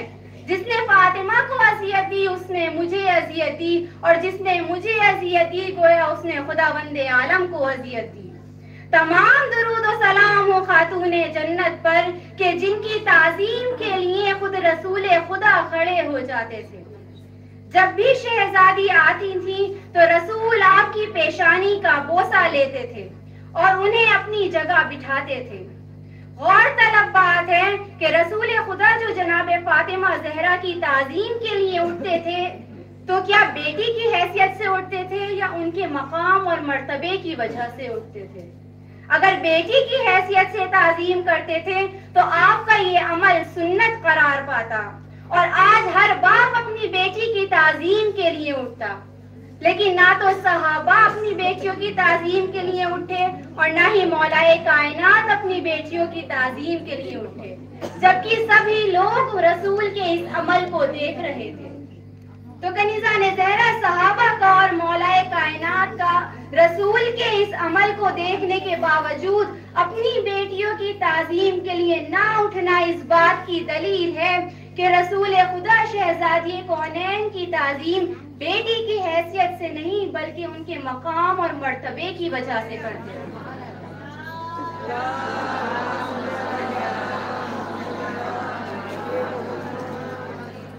मोहतरम खातन, अब मैं अपनी बात को खत्म करते हुए दुख्तरान मिल्लत से ये दरख्वास्त करूँगी कि वो अमली तौर पर शहजादी कौनैन को अपना कर दुनिया को ये बताए कि हकीकी माना में कनीजान सैयदा कैसी होती है।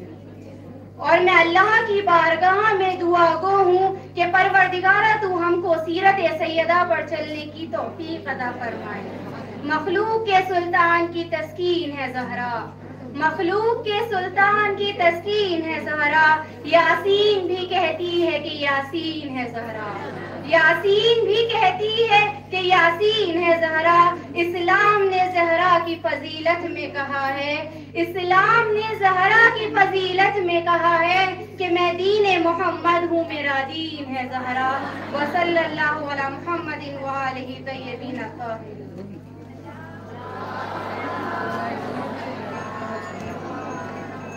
बहुत बहुत शुक्रिया मोहतरमा। मरियम नकवी साहिबा, जिन्होंने बहुत बेहतरीन अंदाज में जनाब फातिमा जहरा सलाम की ज़िंदगी के मुख्तलिफ़ गोशों पर रोशनी डाली। खुदा से यही दुआ है कि परवरदिगारा, हम सबको सिरत फातिमा पर अमल करने की तौफीक इनायत फरमाए। मोमिनात हमारा इस प्रोग्राम ये ख़त्म हो गया है। कोई एक खातून है, शकीबा हैदरी साहिबा, वो मौजूद है?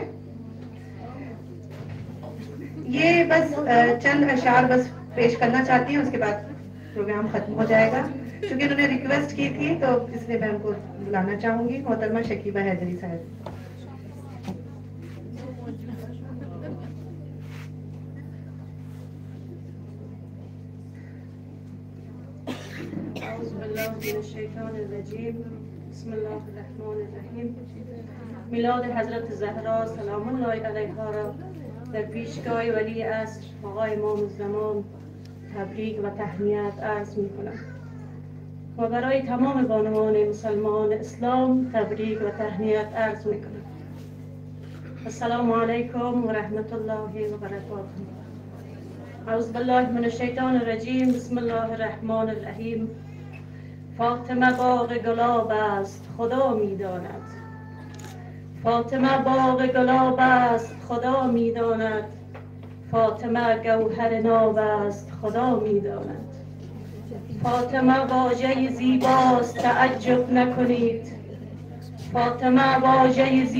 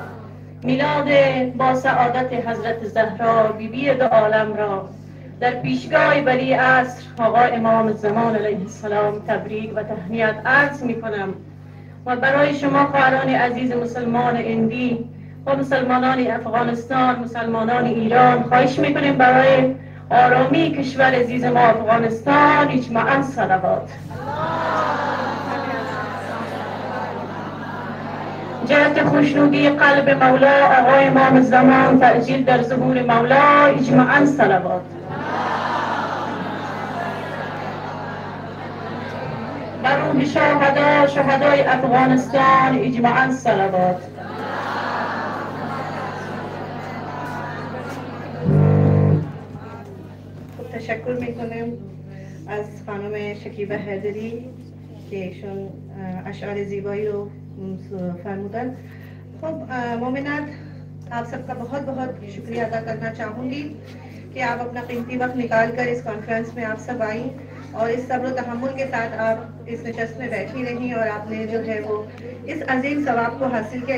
इंशाल्लाह इसका अज खुद शहजादी फातिमा जहरा सलाम आपको देंगी।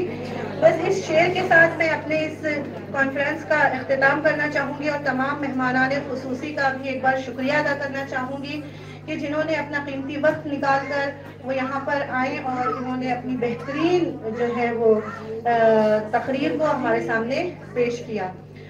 इस शेर के साथ मैं अपने इस प्रोग्राम का अख्ताम करना चाहूँगी कि मिल जाए अगर कम से भी कम उससे भी कम से। मिल जाए अगर कम से भी कम उससे भी कम से। हम सुरमा बना लेंगे तेरी खाके कदम से। लौलाक में जो कुछ है वो जहरा के है दम से।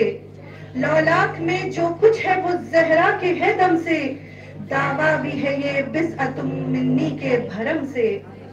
और सुन्नी है कोई और न कोई शिया यहाँ है। सुन्नी है ना कोई और, सुन्नी है कोई और न कोई शिया यहाँ है।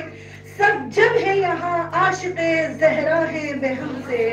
एक सलवार के साथ इस प्रोग्राम का अख्ताम करती हूँ। आप तमाम मोमिनात का बहुत बहुत शुक्रिया। और वहाँ पर खाने का भी इंतज़ाम है। आप तमाम मोमिनात खैरियत के साथ वहाँ पर जाइए और इसी दुआ के साथ कि परवरदिगारा, हम सबको सीरत फातिमा पर अमल करने की तोफ़ी इनायत फरमाए। हमें फातिमी ज़िंदगी अता करे और हमें फातिमी मौत दे और हमें जनाब फातिमा जहरा सलाम के साथ महशूर फरमाए। एक सलवार के साथ